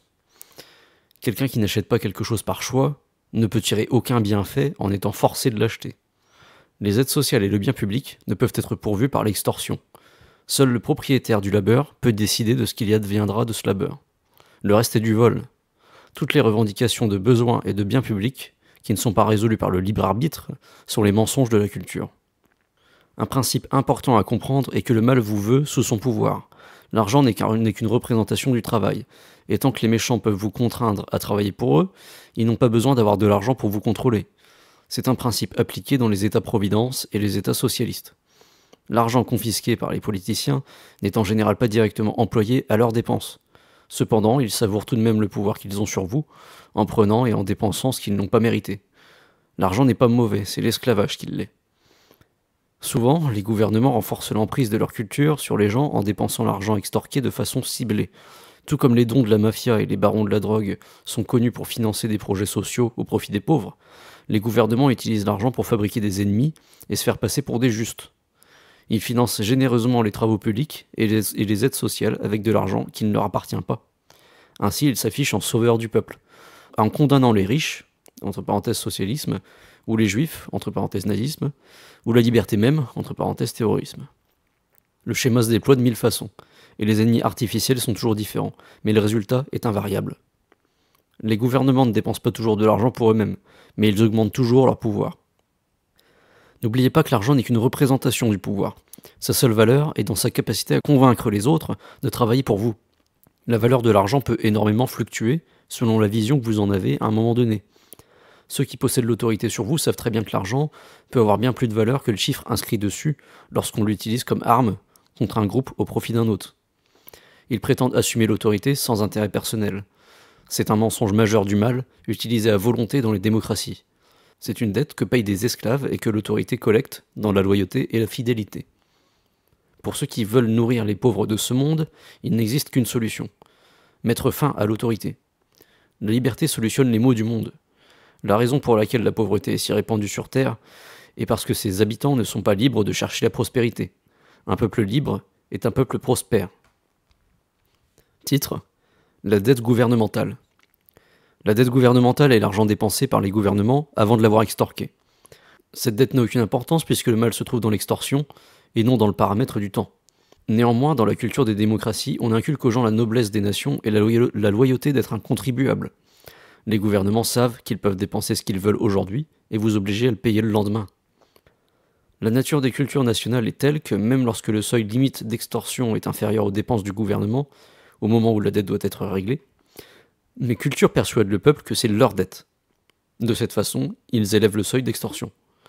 Les gens sont moins enclins à se révolter ou à arrêter le travail quand on leur inculque qu'il s'agit de leur nation, de leur dette et de leur obligation morale de payer. Titre La bureaucratie. La bureaucratie est un mot utilisé pour décrire les obtempérations nécessaires aux régulations du gouvernement. Pour assurer que vous obéissez aux innombrables lois auxquelles le gouvernement vous soumette, vous devez également vous soumettre aux agents coercitifs de ces lois. Innocente et nécessaire aux yeux de la culture, en vérité la bureaucratie est la nature manifeste de l'esclavage. Le mal cherche à vous contrôler, à détruire votre liberté, à détruire votre esprit. Plus vous avez à agir sous la contrainte, moins vous avez de liberté, et plus le mal est puissant. Toute culture inculque la noblesse de la police. Elles inculquent que la, que la police évite les meurtres et les viols. Bien qu'il soit parfaitement possible qu'elle mette parfois fin à la violence, la police moderne existe en majeure partie pour détruire la liberté et confisquer la richesse. Chaque visite à la préfecture, alors petite note au passage, le texte, le texte original fait référence aux Departments of Motor Vehicles aux États-Unis, ce qui est une sorte d'équivalent. Chaque déclaration d'impôt, chaque fois qu'on vous arrête pour un contrôle, chaque décret auquel vous vous soumettez à la maison ou au travail correspond à la police en action. La culture de la police est une culture de la protection. Leur protection n'est effective que dans la mesure du nécessaire pour vous convaincre de vous soumettre à toutes leurs autres exigences. La loi inculque que vous devez vous conformer à des quantités de formalités et de contraintes afin que les autres soient protégés de vous. On vous inculque que vous devez vous soumettre à des quantités de mesures coercitives parce que vous êtes potentiellement un fauteur de troubles.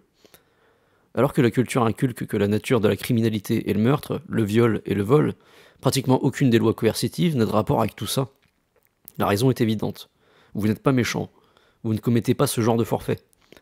Il n'y a aucune raison de croire que ceux qui vous entourent aient moins de moralité que vous. Et pourtant, malgré cela, des millions sont employés comme agents de la loi pour soutenir cette définition du crime.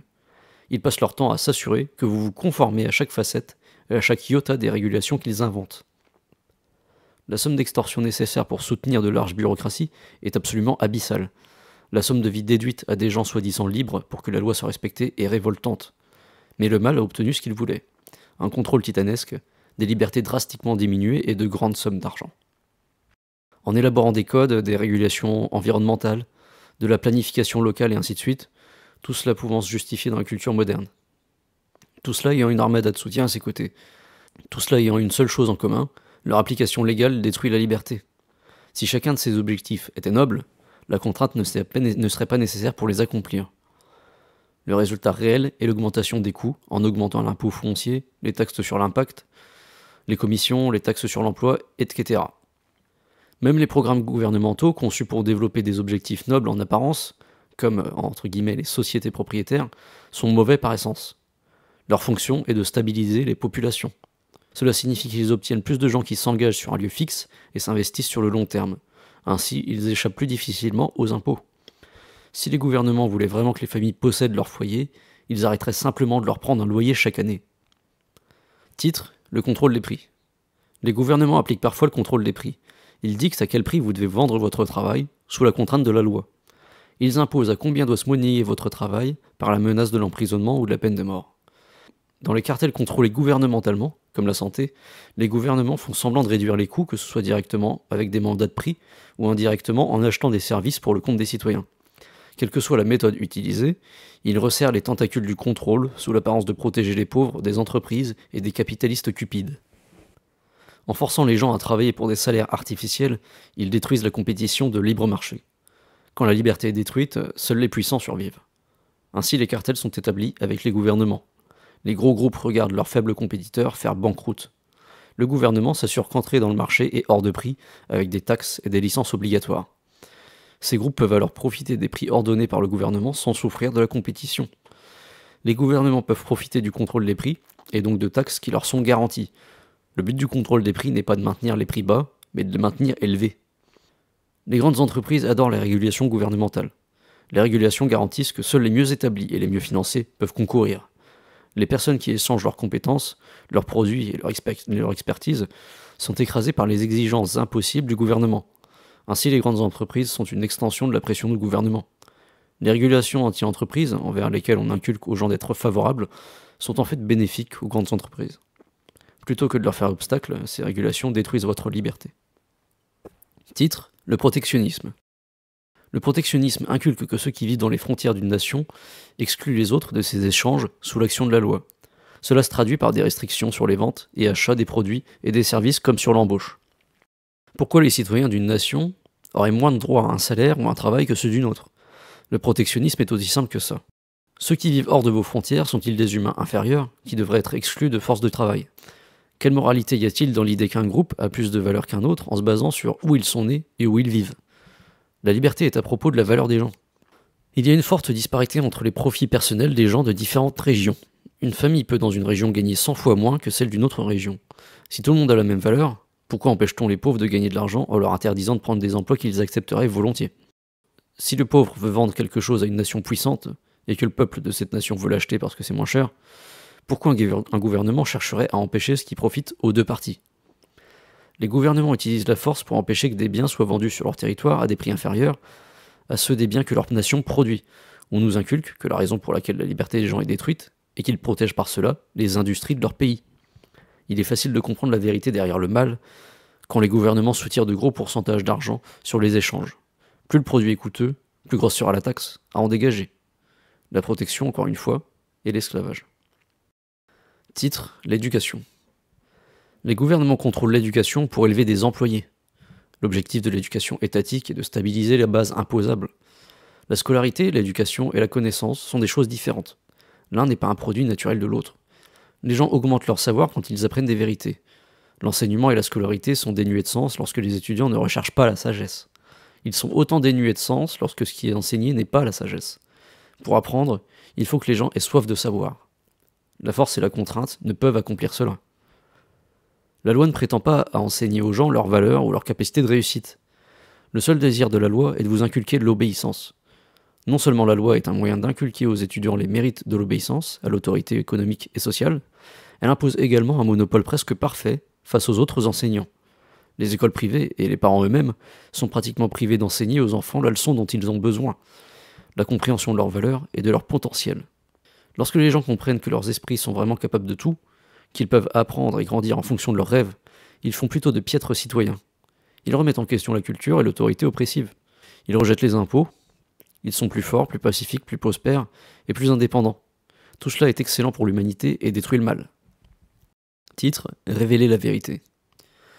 Pour mettre à l'épreuve la vérité d'une idée, il est bon de la regarder à l'envers. Le socialisme inculque que les gens méritent d'obtenir les profits du travail sans avoir à travailler.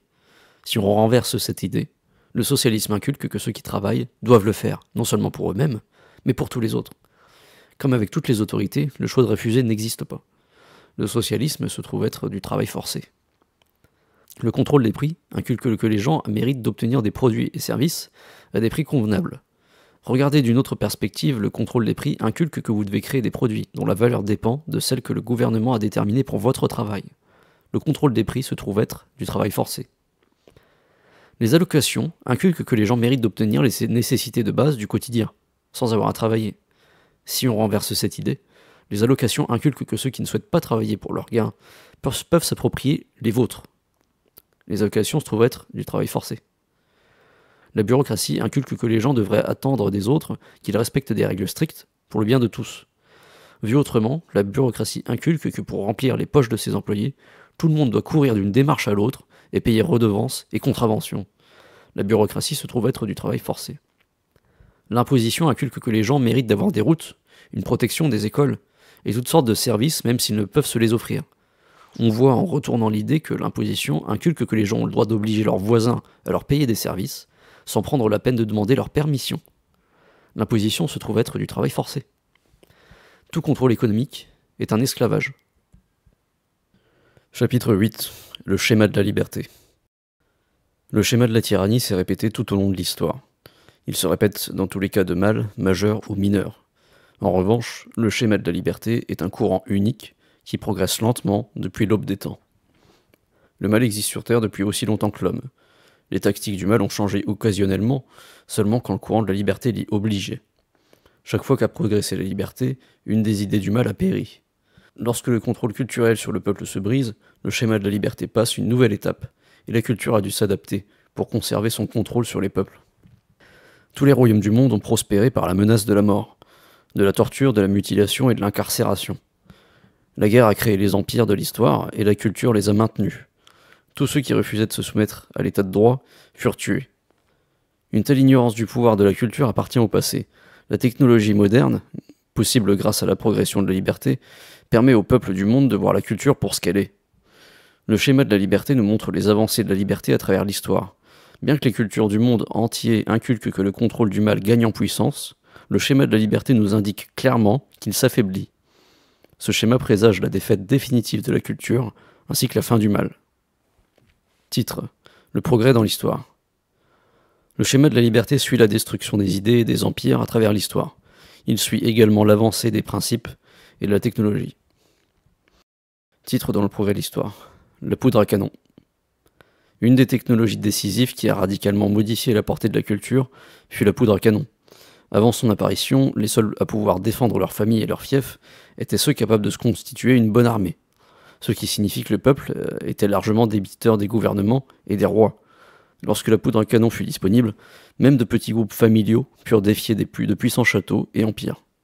La poudre à canon a refaçonné les royaumes en donnant les moyens au peuple de répondre au contrôle violent des seigneurs de guerre. Titre dans le programme de l'histoire, l'imprimerie. L'imprimerie a redéfini la nature de la culture comme jamais dans l'histoire. Avant son invention, pratiquement personne ne savait lire. Posséder des livres était bien trop coûteux. Dès que le prix de la copie eut chuté, l'alphabétisation explosa. L'information se standardisa à une échelle jamais connue dans l'histoire. Il devint bien plus difficile pour les cultures de baser leur pouvoir sur l'ignorance des gens. La religion étant dominée par ceux qui contrôlaient les textes sacrés, ce pouvoir leur permettait d'influencer les libertés politiques et même le mode de vie de la population. La Bible fut le premier livre imprimé et ne tarda pas à être distribué partout. Alors que l'Église catholique fit tuer des gens pour avoir traduit la Bible dans des langues vernaculaires telles que l'anglais, elle devint disponible dans toutes les langues connues. Le pouvoir théocratique dans le monde chrétien se divisa, et les chrétiens se mirent à suivre des idées divergentes. L'imprimerie fut le socle de toutes les technologies. Bien que les mathématiques et l'ingénierie eurent prospéré à différentes périodes de l'histoire, elles ne se pérennisèrent pas. La guerre détruisait les connaissances acquises. Après l'imprimerie, suffisamment de copies purent être distribuées pour que la connaissance perdure et se répande aussi rapidement que le réclamait la soif de connaissance. Titre dans le progrès de l'histoire La grande expérience américaine. La grande expérience américaine fut une démonstration au monde. Elle osa répondre au bluff de la culture et voulut voir ce que le peuple allait faire de la liberté. Alors que la culture eut longtemps inculqué aux gens qu'ils n'étaient pas dignes et capables de contrôler leur propre vie, la rébellion américaine leur apprit qu'ils étaient entièrement capables de vivre leur vie sans un roi. Ils ont montré par leurs actions et leur esprit que les hommes valaient plus que des gouvernements. Cette expérience de la liberté franchit sa première épreuve quand les armées du roi George furent vaincues. L'onde de choc qui frappa le monde fut suffisante pour briser les chaînes de la culture, de la royauté, qui avait réduit le monde en esclavage pendant des millénaires. Titre dans le progrès de l'histoire Internet. Internet et la puissance informatique récente ont détruit l'ignorance culturelle pour de bon. Tout comme l'imprimerie qui l'a précédé, Internet a rendu possible la diffusion globale et quasi indestructible de l'information. Les chaînes de la culture sont forgées par le contrôle de l'expression et le contrôle de l'esprit. Quand les gens sont libres de dire ce qu'ils pensent, la sagesse s'apprend à vive allure. Pour que les cultures réussissent, il faut une ignorance imposée et cultiver la pensée programmée. Dès que les gens remettent en question les lois, l'autorité tombe. Le basculement de la culture hors de la propriété intellectuelle est un signe révélateur de la fin du règne du gouvernement. Dans le passé, on considérait que l'information appartenait à ceux qui la produisaient. Autrement dit, quiconque cherchant à utiliser cette information pouvait être puni par la violence de la loi. Le futur renferme des changements de mentalité que peu sont prêts à accepter tant qu'ils ne les auront pas vus se produire. La propriété intellectuelle n'est pas un principe, puisqu'elle doit être imposée en limitant les libertés des gens. Ce n'est qu'une idée et une construction du droit, le changement qui se profile dans le monde est celui de l'impossibilité de la contrainte. La loi se débattra avec grand-peine pour défendre l'autorité et la taxation, mais finira par perdre. Ceci est le pouvoir de la communication globalisée et de la conservation de l'information. Pratiquement toutes les lois deviendront impossibles à appliquer. Les capacités informatiques donnent aux gens la liberté nécessaire pour échapper à la tyrannie. Titre La violence remplace la culture. Quand la culture s'effondre et que l'autorité qu'elle protège est menacée, la violence s'intensifie. La violence est un élément nécessaire au contrôle. L'ordre violent est nécessaire pour empêcher l'insurrection. La violence modifie la dynamique en faisant payer la liberté par le prix de la mort. Chaque fois que le schéma de la liberté a progressé dans l'histoire, la violence s'est intensifiée. Le futur ne dérangera pas à la règle. À mesure que les gens découvrent la liberté et comprennent les possibilités qui s'offrent à leur vie, le mal sort ses griffes. Les autorités se permettront des degrés supérieurs de violence à mesure qu'elles perdront le contrôle. C'est ainsi que meurt une culture. C'est la raison de la guerre. À mesure que le schéma de la liberté atteint son étape finale, les cultures les plus oppressantes du monde perdront le plus rapidement leurs ouailles, et de ces cultures surgiront les répressions les plus brutales. Parmi les indicateurs de cette violence, nous trouvons les attaques terroristes. Les attaques contemporaines ne sont pas différentes des attaques terroristes du passé. Les peuples opprimés ne veulent pas de l'oppression. Quand ils découvrent la liberté, ils veulent en obtenir plus. Les cultures mauvaises diabolisent toujours la liberté. Comme les États-Unis d'Amérique ont historiquement connu plus de liberté que d'autres nations, ils sont attaqués par des régimes terroristes dans l'espoir d'inculquer au peuple asservi que la liberté est une faiblesse. Ils inculquent que la liberté produit la décadence et l'insécurité. Le but de ces attaques n'est pas en soi que le peuple soit attaqué. Elle consiste à maintenir l'emprise de l'esclavage culturel sur les opprimés. La violence des cultures mourantes peut détruire des millions de vies, mais elle ne dure jamais longtemps. L'âge des guerres sur Terre est terminé. Le rythme rapide de création et de disparition des nations est la preuve de l'accélération du schéma de la liberté. Les nouveaux rebondissements culturels inventés par les méchants sont découverts et anéantis.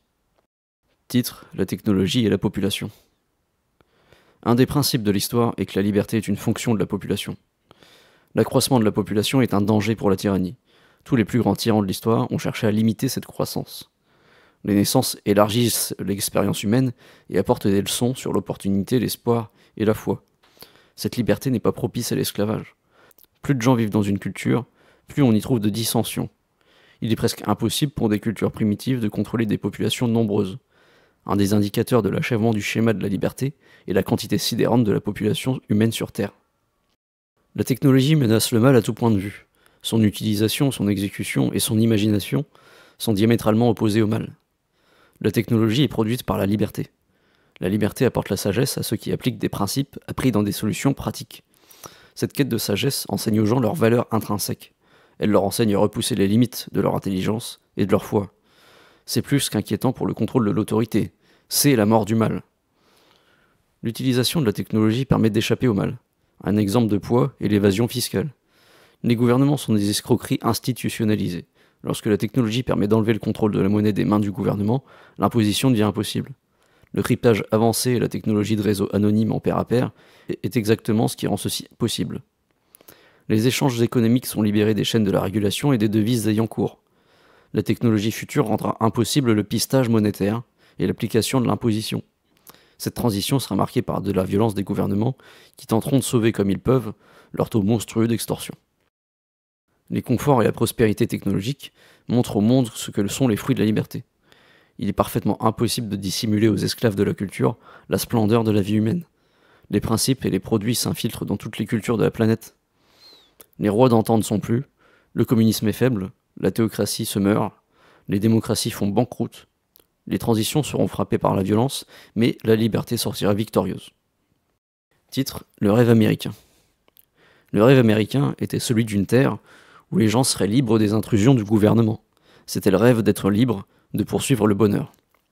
Aujourd'hui, la culture inculque que le rêve américain est une définition spécifique et étriquée de la vie parfaite, et que la raison pour laquelle les États-Unis sont une grande nation est qu'ils vous permettent d'obtenir cette vie. La culture corrompt tout ce qui est bon. Le rêve américain n'est pas un rêve américain. La grande expérience américaine offrit une grande liberté au peuple américain, plus qu'il n'en a existé ailleurs à toutes époques. L'expérience et le rêve ne sont pas pour les Américains. Les États-Unis d'Amérique ne doivent pas être respectés comme nation, ce n'est pas un groupe privilégié. Il n'y a pas de magie, ni de suprématie culturelle dans le rouge, le blanc et le bleu. La grande expérience américaine doit être respectée uniquement parce qu'elle a enseigné aux gens qu'ils valent plus que la loi. Le gouvernement récent des États-Unis d'Amérique ressemble étroitement à une démocratie ainsi qu'à un État-providence. Il est en faillite et fermement imposé par des légions de lois. La culture voudrait vous faire croire que c'est son héritage. Ce n'est pas le cas. La déclaration d'indépendance, la déclaration de droit et l'acte même de rébellion envers un roi ont appris au peuple du monde que le gouvernement n'avait aucun droit naturel sur eux. Tout cela a montré au peuple du monde entier qu'ils ne devaient rien au gouvernement et à l'autorité. Cela leur a communiqué que l'autorité n'a jamais eu à leur dicter ce qu'ils avaient le droit de dire, comment mener leur culture, ce qu'ils avaient le droit d'imprimer et où ils avaient le droit de se rassembler. Cela leur a montré que la police est un animal dangereux et qu'il leur faut pouvoir et vouloir s'en défendre. Cela leur a montré qu'on peut poser une limite au gouvernement et à l'autorité. Cela a appris aux gens qu'il valait plus que la loi. Ce pas monumental de franchi dans le schéma de la liberté n'a pas de rapport avec la démocratie et le gouvernement. La puissance et la beauté de cette étape fut la création d'une anticulture par des hommes rebelles. Ils ont attaqué l'autorité de tous côtés en enseignant aux gens une dose de leur valeur. L'expérience fut un succès. La liberté du peuple ne crée pas d'anarchie. L'Amérique n'est pas parfaite et la liberté n'est pas terminée. La soif de liberté de l'humanité ne supportera pas les tyrannies du monde pour longtemps. On leur enseignera qu'ils sont dignes de gouverner leur propre vie. Le schéma de la tyrannie sera rompu. Le rêve américain n'est pas un rêve américain, mais le rêve de l'humanité. C'était une marche gigantesque de gravi sur le dos des héros vers la liberté des hommes. Ce ne sera pas la dernière. Titre La compétition pour la liberté. À mesure que les gens savent voir à travers la tyrannie dans leur vie, jusqu'à celle d'autres cultures, ils apercevront une compétition pour la liberté. L'attrait de la liberté sera manifesté par la technologie, la prospérité et la paix des peuples les plus libres. Les peuples demanderont pourquoi il est noble pour eux d'obéir à certaines lois, mais pas le reste du monde. Ils verront que ce qui est exigé d'eux n'est pas naturel, que c'est de la tyrannie. Le schéma de la liberté progresse chaque fois que les mensonges de la culture sont démasqués et compris. Bien que les cultures soient conçues d'une manière à maintenir un contrôle étroit sur l'esprit des gens pour les empêcher de percevoir la tyrannie qu'ils subissent, être témoin de la liberté peut briser ce contrôle instantanément. Lorsque la violence des cultures mourantes s'amenuisera et que la liberté surgira de tous les coins d'ombre de la planète, les peuples du monde commenceront à rivaliser dans la quête de la liberté. Quand on est libre de se déplacer, choisir sa juridiction, vous verrez que les gens vont vers les sociétés les plus libres et non les plus sévères. De plus, les éléments du mal graviteront vers les sociétés plus limitées, car il y sera plus facile d'imposer le contrôle. C'est le chapitre final du mal. La technologie, les communications et la sagesse permettent aux gens d'échapper à l'autorité. Et ils le feront avec toujours plus d'efficacité. Cela complète le schéma de la liberté. C'est aussi là que le mal prend fin. Chapitre 9 La fin du mal. La voix est un principe de l'intelligence. La voix est la forme la plus élevée de communication entre les créatures les plus intelligentes. La passion et les émotions que nous pouvons incarner dans nos mots peuvent changer des vies et changer des mondes. Les quelques-uns qui entreaperçoivent le pouvoir contenu dans la parole apportent soit une destruction incommensurable, soit une liberté éblouissante. Toutes les cultures les plus terribles et les plus grandes que le monde a connues furent produites par le principe de la voix. Chaque rébellion et révolution qui ont détruit des cultures et des empires furent produites par le pouvoir de la parole. Ceux qui ont compris le principe de la voix ont irrévocablement altéré notre monde. Le principe de la voix se trouve dans tous les éléments de la communication humaine. Les écrits, les livres sont des formes mineures de voix humaine. Chaque échange de mots a le pouvoir de changer des vies. En y insufflant la passion de la vie, la voix peut à elle seule libérer des mondes. Ce principe de la voix explique pourquoi la liberté est fonction de la population. À mesure que la population augmente, il devient plus difficile pour la culture de maintenir son contrôle sur l'expression du peuple. Plus les gens communiquent entre eux, plus vite ils apprennent leur véritable valeur. L'augmentation de la population apporte davantage de liberté dans le monde grâce au pouvoir de la parole. Lorsque les gens sont délestés des chaînes de la culture et qu'ils ne croient pas aux mensonges, disant qu'ils sont impuissants, ils peuvent tout changer. Pour changer le monde, vous devez avoir la foi que vous possédez cette aptitude. Vous devez ouvrir la bouche et prendre la parole. Le principe de la voix est la passion de convaincre, la passion d'enseigner et la passion de produire la foi. Cela vous fortifie, et si vous en faites usage, vous changerez des vies. Titre Le futur. Les rêves enflammant les cœurs de millions de vies se sont intensifiés à travers les millénaires. Les siècles de destruction causés par la tyrannie ne resteront pas sans condamnation. Seule l'éradication totale du mal sur Terre peut satisfaire à la libération de l'esclavage qui est due aux enfants de ce monde. Tous les rêves de nourrir les affamés, vêtir les dévêtus et aider les pauvres s'accompliront par cette cause. Les humains sont capables de répondre à tous les besoins et désirs de notre monde en utilisant les principes que nous apprenons ça et là. Lorsque les obstacles du mal sont dégagés des vies des gens, la technologie et la prospérité se développent de façon exponentielle. Avec seulement un degré limité de liberté sur un petit pourcentage de la planète, les humains ont éliminé une foule de maladies et découvert des moyens pour nourrir des milliards de vies. Tous les conforts de la vie moderne furent rendus possibles par ceux qui eurent la foi de réussir. Demandez-vous quel miracle pourrait être accompli quand ce petit pourcentage atteint la liberté parfaite, et ce, pour chacun des milliards d'individus de la planète. Ceci est la valeur infinie des êtres humains. Vous êtes la clé. Le progrès de la liberté dans notre monde avance dans la confrontation avec la culture et l'autorité. La technologie et le résultat de la grande expérience américaine sont entre nos mains. Pour défier le mal, Il ne vous reste qu'à faire résonner votre voix et dire au peuple du monde que le rêve de la liberté est une réalité. C'est vous qui enseignerez aux gens de cette planète leurs valeurs. C'est vous qui serez l'agent de la plus grande révolution dans l'histoire de l'humanité. Pour remettre en cause l'autorité du mal, vous devez déconstruire ces outils de violence et de culture. La culture se déconstruit aussi simplement qu'en désobéissant au contrôle de l'expression.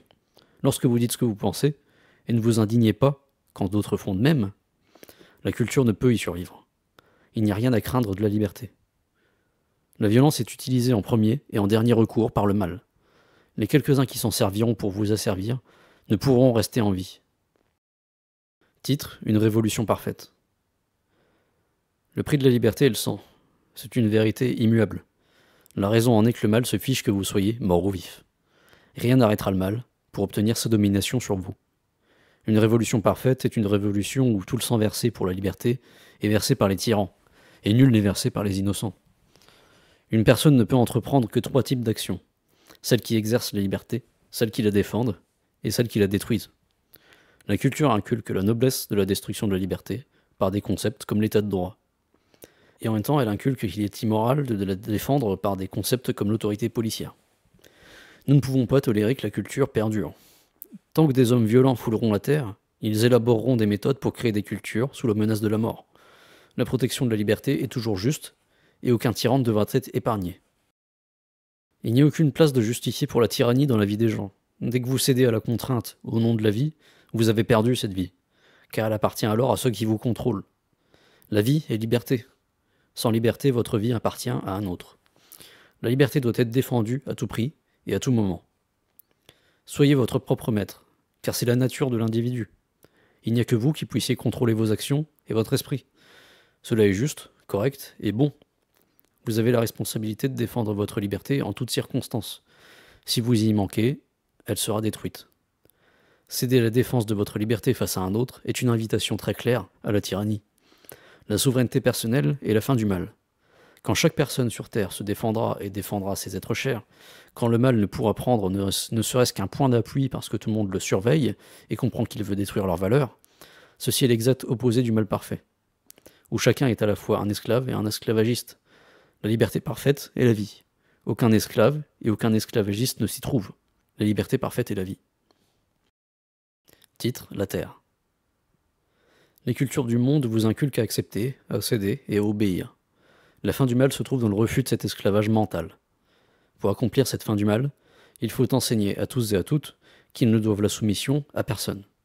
Il faut leur apprendre que les aspirations et les rêves de leur cœur sont bons et convenables.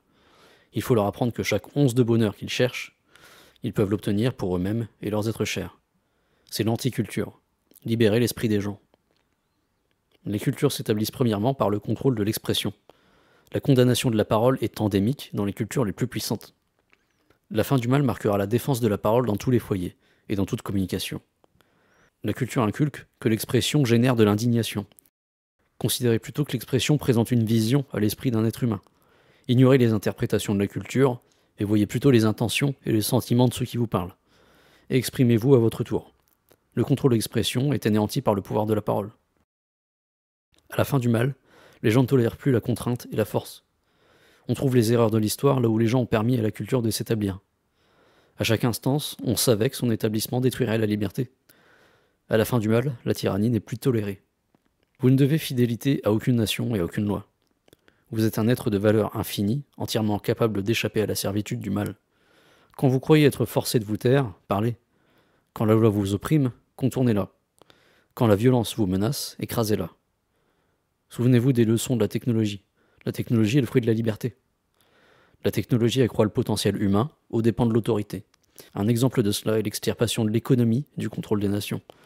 Les régulations étranglent l'activité économique en la rendant financièrement inaccessible, laborieuse et complexe, pour les entrants voulant vendre leurs produits et leurs services. La solution est dans la technologie. Les activités du net, comme les annonces, fusionneront avec la vente par enchère sur une plateforme universelle et libre. Nous savons déjà que la technologie peut diminuer le coût des ventes et rendre, la vente plus facile pour tous. De la même façon, les leçons de contournement de l'extorsion et du contrôle sont déjà apprises. Les réseaux de partage direct entre utilisateurs garantissent que l'autorité ne peut fermer un serveur pour démanteler l'activité économique. Cette dispersion des cibles économiques rendra impossible au gouvernement d'imposer les contrôles et les taxes. En rendant les nœuds de partage anonymes grâce aux puissantes technologies de cryptage, il sera extrêmement difficile pour les autorités d'infliger une violence excessive aux individus pour en faire des exemples de soumission. La sténographie, entre parenthèses, euh, c'est l'art de, de dissimuler un message. Donc la sténographie au sein d'un protocole comme le HTTP rendra impossible la désactivation de communications spécifiques sans avoir à couper toutes les communications. Fusionner les enchères publiques et les espaces de vente avec des réseaux anonymes sténographiques de poste à poste arrachera définitivement le contrôle économique des mains des autorités extorqueuses. Avec ces technologies, les, gens peuvent tout vendre et acheter sans la gérance des gouvernements et des mafias. De plus, les gouvernements ne pourront plus imposer la tenue de registres de taxation, puisqu'au lieu de quelques grands groupes favorisés du gouvernement, ce seront les milliards d'habitants de la planète qui s'impliqueront directement dans leur vie économique. La population et la technologie terrassent le mal. Quel autre genre de dispositif peut-on imaginer pour libérer les peuples de la tyrannie du communisme, du terrorisme, du socialisme, de la démocratie, de la violence et de la culture? Un esprit humain n'a pas de limite dans l'imagination et l'invention. Quand la technologie et l'innovation écrasent le contrôle autoritaire, la liberté obtenue engendre alors des avancées spectaculaires. Une once de liberté peut produire une once de technologie.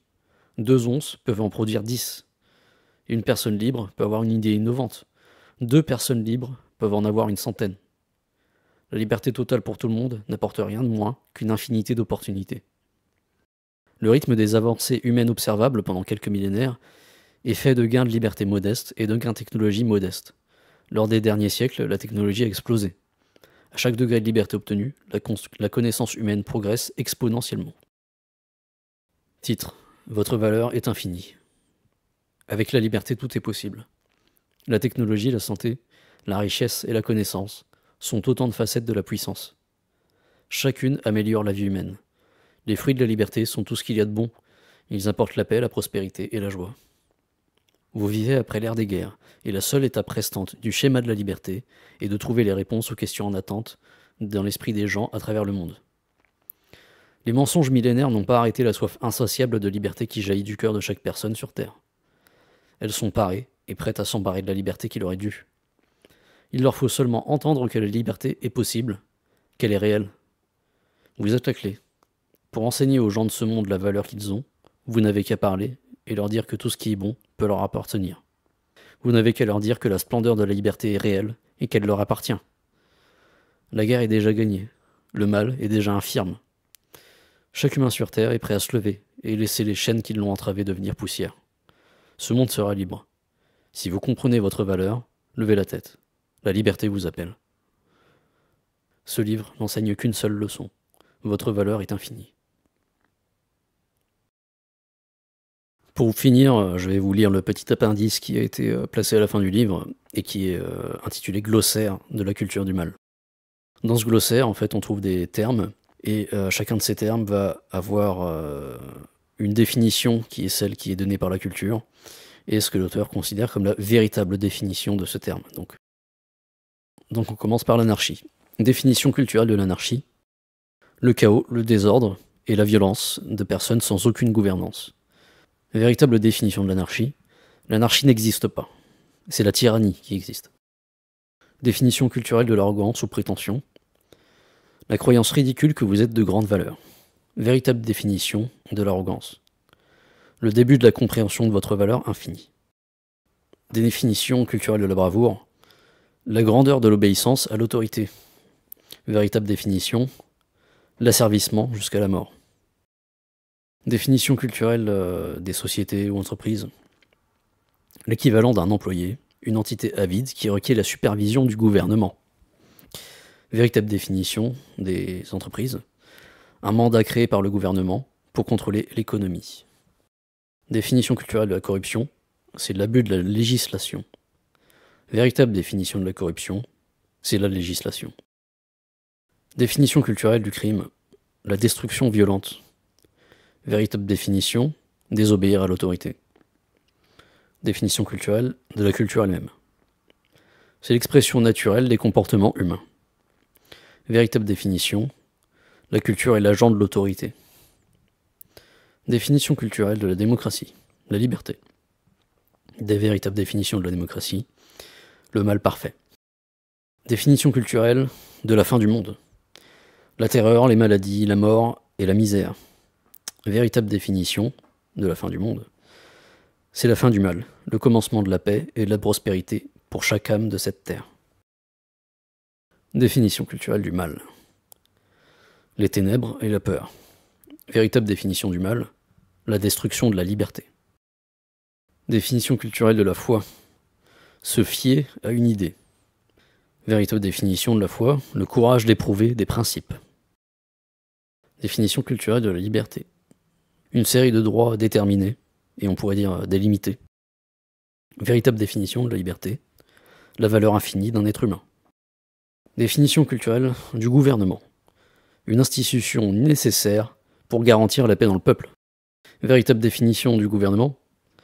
Un racket institutionnalisé. Définition culturelle de l'avarice, c'est l'amour de l'argent. Véritable définition, c'est le vol de l'argent. Définition culturelle de la folie. L'incapacité de percevoir le réel. Véritable définition, l'obéissance aveugle. définition culturelle de la loi. Une autorité légitime. Véritable définition de la loi, une arme du mal dont la légitimité est artificielle. Définition culturelle de la vie. C'est une machine biologique en état de marche. définition véritable de la vie, la liberté parfaite. Définition culturelle de la loyauté. La noblesse du respect de l'autorité. Véritable définition de la loyauté, c'est une perversion de l'amour qui signifie en réalité l'obéissance. Définition culturelle d'un monopole.